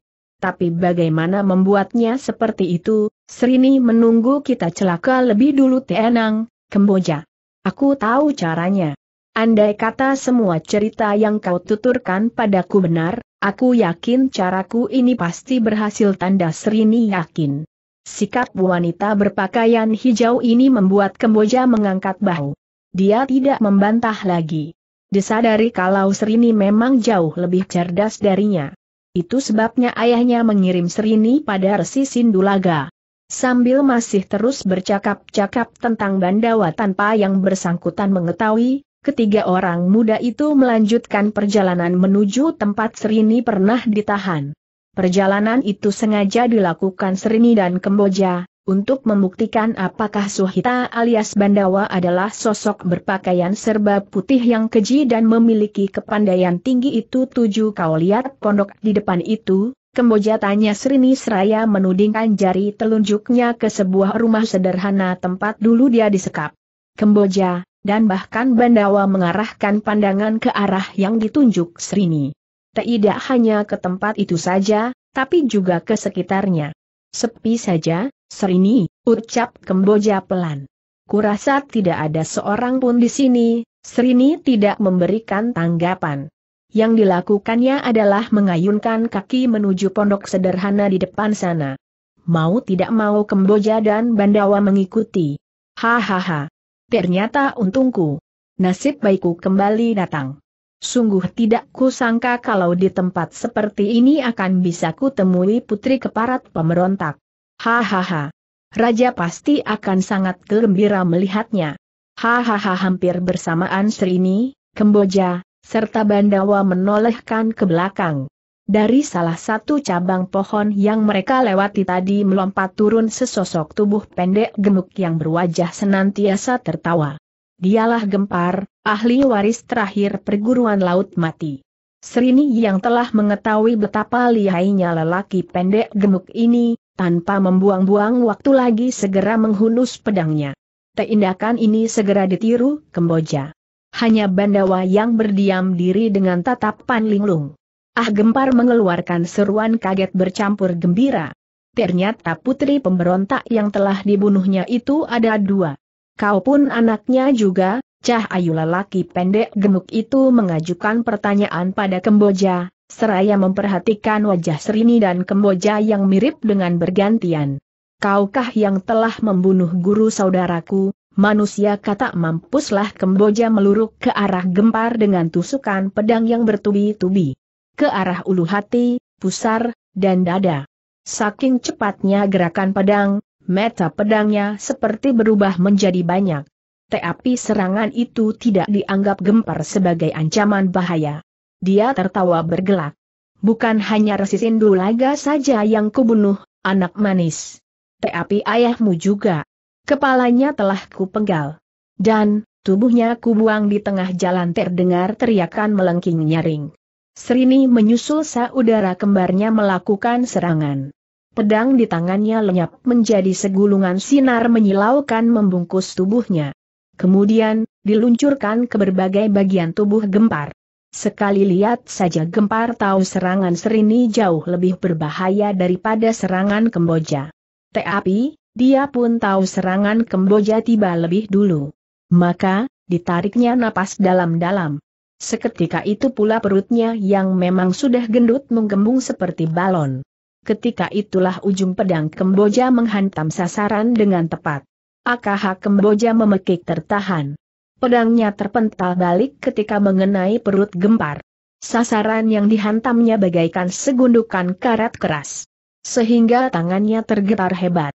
Sampai-sampai senjata andalannya terlepas dari genggaman. Pada saat yang hampir bersamaan serangan Serini datang menyusul. Tetapi sebelum mencapai sasaran, Gempar telah lebih dulu menggerakkan kedua tangannya mempergunakan ilmu pukulan gelombang laut. Dan seperti kejadian yang sudah-sudah, Serini merasakan tubuhnya lemas seakan-akan tulang-tulangnya dilolosi. Tenaganya lenyap entah ke mana kekuatan serangannya menjadi lumpuh. Gadis itu kemudian ambruk ke tanah sebelum berhasil mengirimkan serangan. Serini Kemboja berteriak melihat keadaan saudara kembarnya. Hahaha gempar tertawa bergelak penuh kemenangan. Keyakinannya akan dapat menangkap Serini dan Kemboja membuatnya membiarkan kedua gadis itu, dan tidak melakukan serangan susulan yang dapat melumpuhkan mereka. Dengan susah payah Serini bangkit masih terhuyung-huyung karena pengaruh ilmu pukulan gelombang laut, Srini menghampiri Bandawa. Sebelumnya ia memberikan isyarat pada Kemboja agar mengikuti. Meski merasa heran Kemboja mengikuti kemauan Srini. Dia yakin saudara kembarnya tidak bermain-main dalam saat genting seperti ini. Begitu Kemboja telah berada di dekat Bandawa yang keheranan melihat kedua gadis itu mendekatinya. Srini memberi tanda. Kemboja bimbang meskipun dia mengerti maksud isyarat itu. Namun ketika melihat sorot mata Serini yang begitu memaksa, mau tidak mau perintah itu dilakukannya. Kemboja tahu andai kata Serini dalam keadaan biasa, gadis itu akan melaksanakannya sendiri. Duk! Huh Bandawa mengeluarkan keluhan tertahan sebelum roboh ke tanah dan tidak sadarkan diri. Pukulan sisi tangan yang dihantamkan Kemboja mendarat telak di kuduknya. Kelakuan kedua gadis muda yang cantik itu tidak lepas dari perhatian gempar. Tentu saja lelaki pendek gemuk itu heran bukan main. Apa yang dilakukan putri-putri pemberontak ini tanyanya dalam hati. Apakah karena rasa takut yang sangat lantas mereka menjadi gila dan tidak tahu harus berbuat apa mengapa kau menyuruhku melakukan hal ini? Srini tanya Kemboja tak dapat menahan rasa ingin tahunya. Baru saja Srini hendak memberikan jawaban, Gempar telah lebih dulu menyelak. Bersiaplah, putri-putri pemberontak. Kalian akan kuhadapkan pada raja boleh aku mengajukan satu permintaan tanya Srini Seraya menatap wajah lelaki pendek gemuk itu lekat-lekat gempar tercenung, bingung. Kesempatan itu tidak disia-siakan oleh Srini yang cerdik. Kami berdua tahu, sebagai putri-putri pemberontak tidak akan mungkin mendapatkan ampunan. Kami akan dihukum mati. Bukankah pantas kalau kami mempunyai permintaan sebuah saja? Untuk, yah, anggaplah sebagai permintaan terakhir kami, baiklah. Selama tidak mengada-ada dan masuk akal aku akan mengabulkannya, jawab Gempar setelah berpikir sejenak. Terima kasih, jawab Serini dengan wajah gembira. Aku hanya meminta agar kami, maksudku aku dan saudaraku diberi kesempatan berbincang-bincang untuk yang terakhir kali, kemudian, tanpa menunggu tanggapan gempar, Srini kembali mengalihkan perhatiannya pada Kemboja. Kau ingat semua ceritamu, Kemboja tanya Serini mengingatkan. Bukankah Bandawa selalu berubah pandai dan beringas setelah sadar dari pingsan atau sedang murka ah? Jadi, itukah maksudmu menyuruhku memukulnya Kemboja kini mengerti. Tapi, mengapa bisa seperti itu, Srini entahlah, Srini menggelengkan kepala. Tapi, kalau melihat tindak tanduknya yang tidak gila dan hanya lupa pada masa lalunya, kurasa dia telah mendapatkan guncangan jiwa. Batinnya terguncang hebat hingga tak kuat ditanggung oleh sarafnya. Mungkin itu yang membuatnya lupa pada masa lalu. Hebatnya, kepandaiannya sampai dia lupakan. Dia kembali teringat akan kepandaiannya saat mendapat guncangan di kepala. Karena terpukul atau terbentur batu membuatnya linglung, misalnya, tapi, mengapa setiap kali dia teringat selalu dalam keadaan beringas dan, perubahan itu hanya berlangsung sebentar saja karena guncangan jiwa yang hebat dia lupa pada masa lalunya, namanya, dan kepandaiannya. Tapi, seharusnya begitu mendapat guncangan selanjutnya, semua yang terlupa akan teringat kembali, bukankah begitu, Srini hahaha Srini menghela napas berat. Memang seharusnya demikian, Kemboja. Aku juga heran. Tapi, waktu untuk kalian sudah habis teriakan gempar membuat Serini menghentikan ucapannya. Dengan terkejut kedua gadis itu menatap gempar yang berjalan menghampiri mereka. Serini dan Kemboja dengan harap-harap cemas memandang Bandawa yang masih tergolek di tanah. Kedua saudara kembar itu kemudian jadi nekat. Pedang yang semula telah disimpan dikeluarkan kembali mereka bertekad untuk melakukan perlawanan sampai titik darah penghabisan. Haat sebelum Gempar mengirimkan serangan, Srini dan Kemboja telah lebih dulu menyerang. Kedua gadis itu melancarkan serangan dari arah yang berlawanan. Srini dari kanan sedangkan Kemboja dari arah kiri. Pedang di tangan mereka berkelebat cepat mengirimkan serangan-serangan mematikan. Tapi, hanya dengan menggerakkan kedua tangannya secara sembarangan saja, Gempar telah mengkandaskan serangan Serini dan Kemboja. Bahkan, tubuh kedua gadis itu terhuyung-huyung ke belakang dengan tangan tergetar. Tidak hanya berhenti di situ saja tindakan Gempar. Dia bergerak meluruk ke arah Serini untuk melumpuhkannya. Serini berusaha sekuat tenaga menangkis serangan Gempar. Pedangnya diputar untuk melindungi diri. Namun, hanya dengan tangan telanjang, entah dengan care bagaimana, lelaki pendek gemuk itu berhasil membuat pedang Srini terlempar. Teangan gempar terus meluncur ke bahu kanan gadis berpakaian hijau itu. Kemboja melihat bahaya mengancam diri saudara kembarnya. Maka, dia pun melesat untuk menolong dengan sebuah tusukan ke arah ubun-ubun gempar. Tapi, melihat jarak dan kecepatan wanita berpakaian jingga itu usahanya pasti akan gagal. GRRRHHH di saat tangan gempar hampir menyentuh bahu kanan Srini, dan tubuh Kemboja tengah berada di tengah jalan, terdengar geraman keras bagai binatang buas terluka. Keras sekali sehingga Srini dan Kemboja merasakan seluruh tenaga mereka lenyap. Gempar pun merasakan dadanya tergetar hebat dan kedua kakinya menggigil. Kalau saja dia tidak bertindak cepat mengerahkan tenaga dalam, tentu tubuhnya sudah ambruk ke tanah. Sungguh pun demikian, tak urung wajah lelaki pendek gemuk itu pucat pasi. Gempar adalah seorang tokoh persilatan tingkat tinggi yang telah kenyang dengan pengalaman. Maka dia segera mengetahui akan ada seorang lawan tangguh yang muncul di situ. Karena itu, perhatiannya segera dialihkan ke arah asal geraman. Dan, seketika lelaki pendek gemuk itu terperanjat.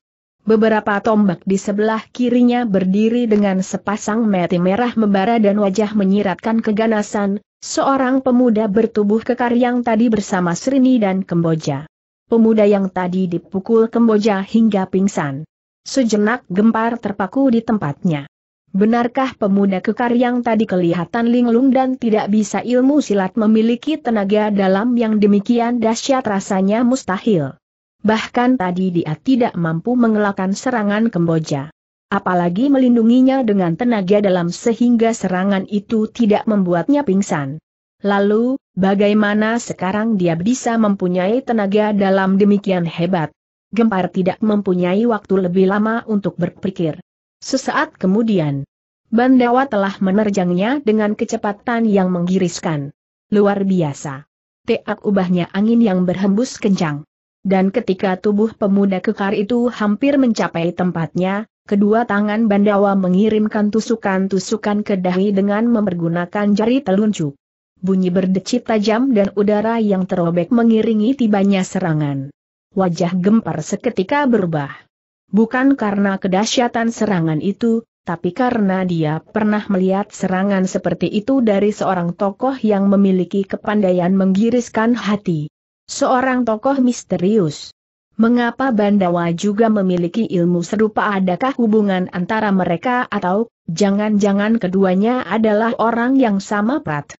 Tubuh gempar terjengkang ke belakang dan jatuh terguling-guling ketika memapaki serangan Bandawa. Cepatnya serangan yang dilancarkan Bandawa membuat lelaki pendek gemuk itu memaksakan diri untuk menangkis. Tidak tanggung-tanggung lagi. Seluruh tenaga dalamnya dikerahkan dengan memainkan ilmu pukulan gelombang laut. Tapi toh akibatnya tetap saja tubuhnya terguling-guling dengan dada terasa sesak dan tangan sakit-sakit. Sementara lawannya hanya terhuyung ke belakang. Itu pun sebentar saja. Serangan lanjutan yang tidak kalah dahsyatnya kembali dilancarkan. Terpaksa gempar mengerahkan seluruh kemampuannya untuk menyelamatkan selembar nyawanya. Ilmu pukulan gelombang laut dikerahkan sampai ke puncak kemampuan. Tapi untuk kesekian kalinya gempar harus menelan kepahitan. Ilmu yang menjadi andalannya mati kutu dan tidak berguna. Seperti ketika menghadapi sosok berpakaian serba putih, Ilmunya pun kembali pupus. Beberapa kali ketika terpaksa berbenturan tangan, gempar terhuyung-huyung ke belakang. Sementara lawannya seperti tidak menderita sedikit pun. Padahal, belum pernah dalam penggunaan ilmu andalannya itu gempar dapat dijatuhkan lawan. Setiap kali ilmu pukulan gelombang laut dipergunakan, angin serangannya saja sudah cukup untuk merobohkan lawannya karena tenaganya terkuras. Bahkan, Dewa Arak yang terkenal itu pun mengalami kejadian yang sama. Tapi mengapa sekarang seperti ketika menghadapi sosok berpakaian serba putih ilmu andalannya tidak berarti. Ilmu yang dikeluarkan Bandawa dapat membuat pengaruh ilmu pukulan gelombang laut yang dimilikinya pupus. Hanya dalam beberapa gebrakan saja gempar sudah kewalahan. Lelaki pendek gemuk itu terpaksa bermain mundur. Mengelak lebih banyak dilakukannya karena untuk menangkis akan sangat merugikan dirinya. Plak, plak, gempar terpaksa menangkis serangan Bandawa yang datang bertubi-tubi karena tidak sempat dielakkan. Akibatnya, tubuh lelaki pendek gemuk itu kembali terjungkal ke belakang. Saat itu pula dengan kecepatan yang sulit diikuti mata, Bandawa menggerakkan kedua tangannya. Gempar yang menyadari adanya serangan maut dengan gugup menggerakkan kedua tangannya di depan wajah untuk menangkis. Beberapa kali tangkisan itu berhasil dilakukan, tapi pada totokan yang entah keberapa, jari telunjuk Bandawa berhasil membuat lubang di dahi gempar. Pewaris terakhir perguruan laut mati itu pun pergi ke akhirat. Serini dan Kemboja gembira bukan main melihat gempar berhasil ditewaskan. Keduanya bergegas mendekati Bandawa yang tengah limbung. Kedua gadis kembar itu tahu kalau saat itu Bandawa tengah berada dalam masa lalunya. Mereka ingin mengorek keterangan tentang siapa sebenarnya Bandawa sebelum pemuda itu roboh tak sadarkan diri. Siapakah namamu, sobat tanya Kemboja yang lebih dikenal oleh alam bawah sadar Bandawa karena telah sering didengar suaranya. Aku, namaku. Bandawa, jawab pemuda bertubuh kekar itu dengan suara mengembang. Kedua tangannya memegangi kepala. Serini dan Kemboja merasa cemas Bandawa akan keburu pingsan. Kau memiliki ilmu silat ini dengan berguru pada siapa? Bandawa ayahku, jawab Bandawa. Suaranya semakin tidak jelas. Siapa ayahmu maksudku, nama atau julukannya tidak ada jawaban dari Bandawa tubuh pemuda itu mulai terhuyung-huyung. Kedua tangannya sibuk memegangi kepala. Sedangkan tarikan wajahnya menyiratkan kesakitan. Kenalkah kau dengan seorang gadis yang bernama Sukaesih? Bandawa tanya Srini hati-hati. Dia, calon istriku, Sampai di sini tubuh Bandawa ambruk. Tapi sebelum terjerembab ke tanah, Kemboja sudah lebih dulu menangkapnya. Bandawa telah jatuh pingsan. Serini dan Kemboja saling bertukar pandang. Mereka cukup puas meskipun belum dapat mengorek banyak keterangan dari Bandawa. Tapi, sedikit banyak sudah dapat diketahui kalau cerita suka usih memang benar. Hanya yang masih menjadi tanda tanya, mengapa Bandawa memakai nama Suhita? Dari mana nama itu didapatkannya pertanyaan itu hanya tinggal pertanyaan karena orang yang seharusnya memberikan jawaban tidak sadarkan diri. Dengan hati-hati Kemboja membaringkan tubuh Bendelwa di tanah. Rasa kasihan kalau pemuda itu akan kepanasan oleh terik sinar matahari, Kemboja membawanya ke sebatang pohon dan membaringkannya di sana rupanya kita memang berjodoh, anak manis. Kenyataannya kita berjumpa lagi, seruan yang diucapkan pelan tapi menggaung ke sekitar tempat itu mengejutkan Serini dan Kemboja terutama Serini yang masih ingat betul siapa pemilik suara itu. Wajah gadis berpakaian hijau itu mendadak berubah pucat. Tiupan angin dingin berhembus. Dan, di dekat kedua gadis cantik itu berdiri sesosok tubuh berpakaian serba putih. Tokoh misterius yang menggiriskan. Seketika itu pula Serini melangkah mundur. Kemboja yang telah mendengar dari saudara kembarnya mengenai tokoh tingkat tinggi yang keji ini meremang bulu kuduknya. Dia kui kalau sosok berpakaian serba putih memiliki perbawa yang menyeramkan. Terutama sepasang matanya yang tajam mencorong dan berwarna kehijauan. Kemboja melangkah mundur seraya mengerling ke arah tempat Bandawa diletakkan. Ia berharap pemuda kekar itu segera sadar dari pingsannya. Hahaha awas sosok berpakaian serba putih membahana melihat keberadaan Kemboja. Sungguh besar untungku kali ini. Tidak hanya satu bidadari yang kujumpai, tapi dua. Ah, luar biasa.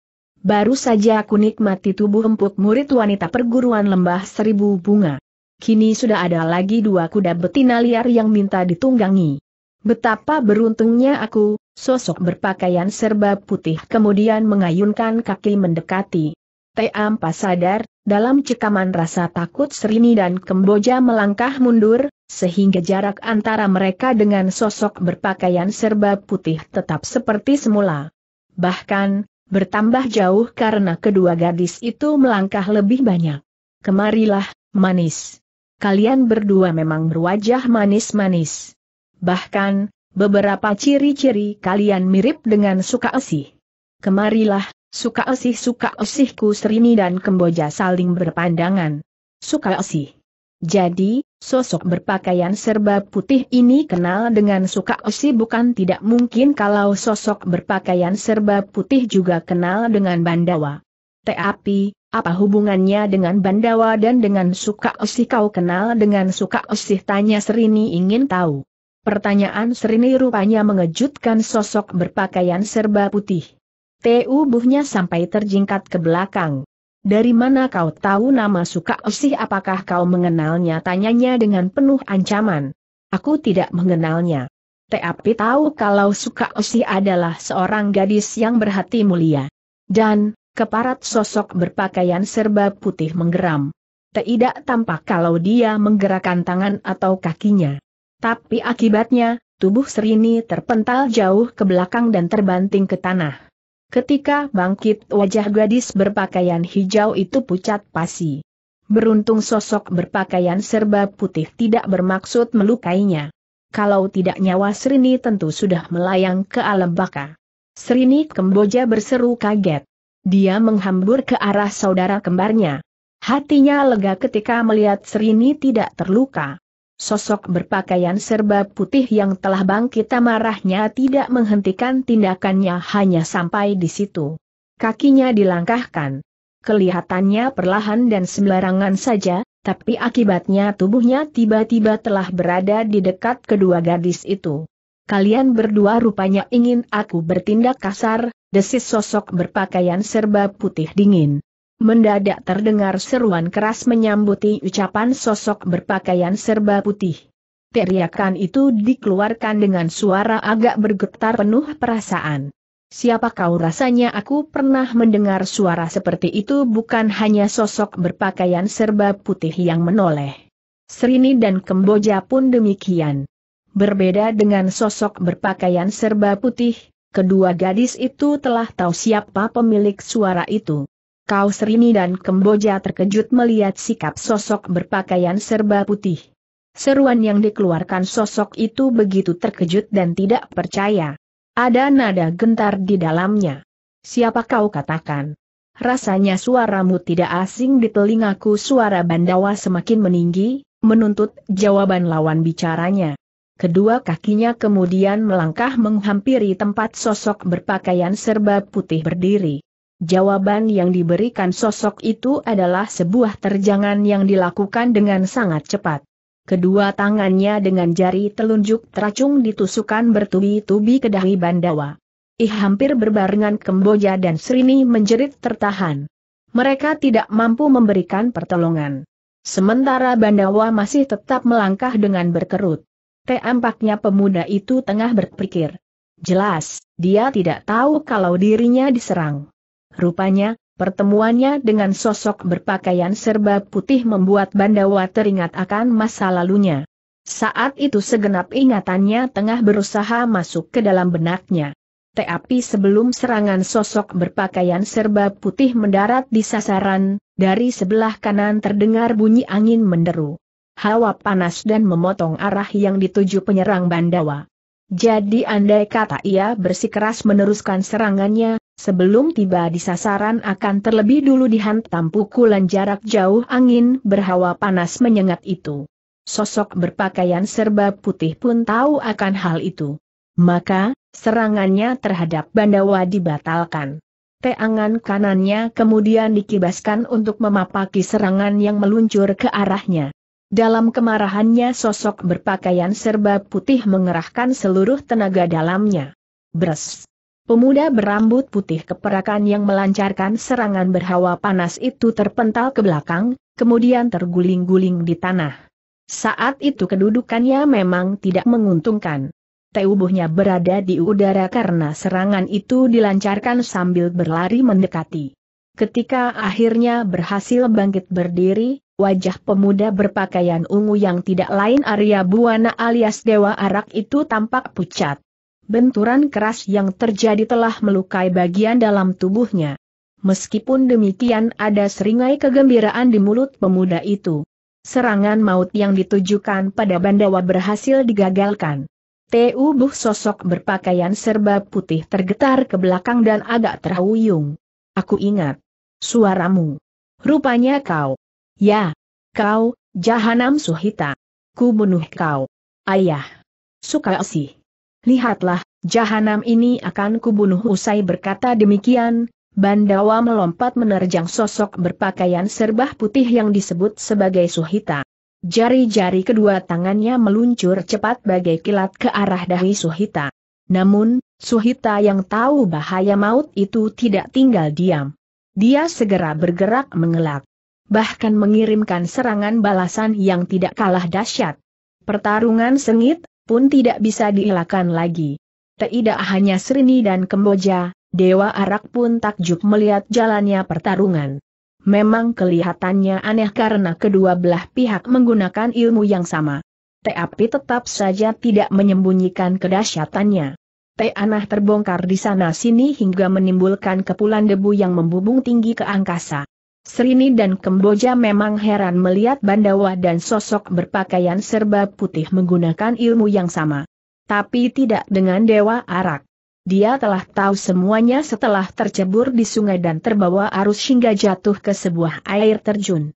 Di sana Arya bertemu dengan seorang kakek yang menceritakan tentang sosok berpakaian serba putih, Begitu Arya memberitahukannya kalau dirinya terjatuh ke sungai karena ulah sosok itu yang memiliki ilmu satu jari yang sangat ampuh. Kakek yang telah lumpuh kedua kakinya akibat terjatuh dari atas tebing itu mengaku bernama Pandulaga. Sejak ratusan tahun yang lalu leluhur Pandulaga memiliki ilmu-ilmu tinggi. Tapi mereka tidak pernah terjun ke dunia persilatan. Tujuan mereka mempelajari ilmu-ilmu silat hanyalah untuk melindungi diri dan keluarga besar Pandulaga. Karena itu Pandulaga yang tidak suka menonjolkan diri, maka dia memilih mengusahakan sebuah perkebunan. Pandulaga memiliki seorang anak kandung yang bernama Bandawa dan seorang anak angkat bernama Suhita. Semula Suhita pandai membawa diri sehingga Pandulaga tidak segan-segan menurunkan ilmu kepadanya. Tetapi, sungguh tidak disangkanya Suhita sampai hati meracuni dirinya dan Bandawa yang hanya karena ingin mendapatkan suka asih. Dalam keadaan setengah sadar tubuhnya dijatuhkan dari atas tebing. Sedangkan Bandawa sempat kabur. Entah karena racun yang kurang kuat atau karena masih muda, atau mungkin kehendak Allah, Bandawa tidak meninggal hanya pingsan. Sebelum pingsan Pandulaga sempat melihat keadaan Bandawa yang agak aneh. Mungkin ada bagian sarafnya yang terpengaruh racun, sehingga yang diingat hanyalah nama Suhita, ucap Pandulaga pada Arya. Kemudian dia dimintanya pemuda berambut putih keperakan itu untuk mencari Bandawa, dan kalau bisa membawanya pada Pandulaga untuk diobati, karena Suhita masih terus mencarinya. Pandulaga tidak tahu kalau sebenarnya Suhita memiliki watak yang kurang baik.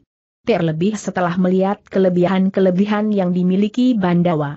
Bandawa lebih tampan, lebih pandai darinya dan lebih disukai gadis-gadis. Karena tidak tahan menahan rasa iri yang bertumpuk-tumpuk, Bandawa pun akhirnya dijadikan pelampiasannya. Sekarang, pertarungan antara Suhita dan Bandawa tidak bisa dihindarkan lagi. Bandawa telah teringat kembali akan masa lalunya. Dan Arya memperhatikan tanpa berkedip seperti juga Srini dan Kemboja. Hiaat-haat di jurus ke-50 Bandawa dan Suhita bersamaan mengeluarkan teriakan melengking tinggi yang membuat Srini dan Kemboja jatuh terduduk. Kedua pemuda yang berilmu tinggi itu saling terjang dengan jari-jari telunjuk menegang kaku. Teak, tak, tak. AKH beberapa kali terdengar benturan keras. Sesaat kemudian jeritan tertahan terdengar dan tubuh mereka terpental balik ke belakang. Bandawa mendarat dengan mantap di tanah. Sedang Suhita terhuyung-huyung, kemudian ambruk dan tidak bergerak lagi untuk selamanya. Pada dahinya tampak sebuah lubang yang tercipta dari tusukan tangan Bandawa. Serini, Kemboja, dan Dewa Arak menyambut kemenangan Bandawa dengan penuh gembira. Apalagi ketika mereka mengetahui Bandawa telah sembuh sepenuhnya. Rupanya, salah satu pembuluh darah yang berhubungan dengan safat ingatan masa lalu tersumbat dan menyempit akibat pengaruh racun. Akibatnya aliran darah yang menuju ke arah sana terhambat. Baru ketika mendapat guncangan aliran darah dapat mengalir lancar. Guncangan yang agak keras hanya terjadi bila bagian kepala atau kuduknya terpukul atau terbentur. Tapi itu hanya berlangsung sesaat. Baru ketika guncangan yang terjadi akibat pertempuran dengan Suhita, aliran darah itu mengalir dengan deras karena Mandawa sibuk menguras ingatannya. Meskipun demikian, setelah mendengar pesan ayahnya yang disampaikan Arya, Bandawa memutuskan untuk pergi menemui ayahnya ia akan menerima pengobatan untuk mencegah hal-hal lain yang tidak diinginkan. Selesai.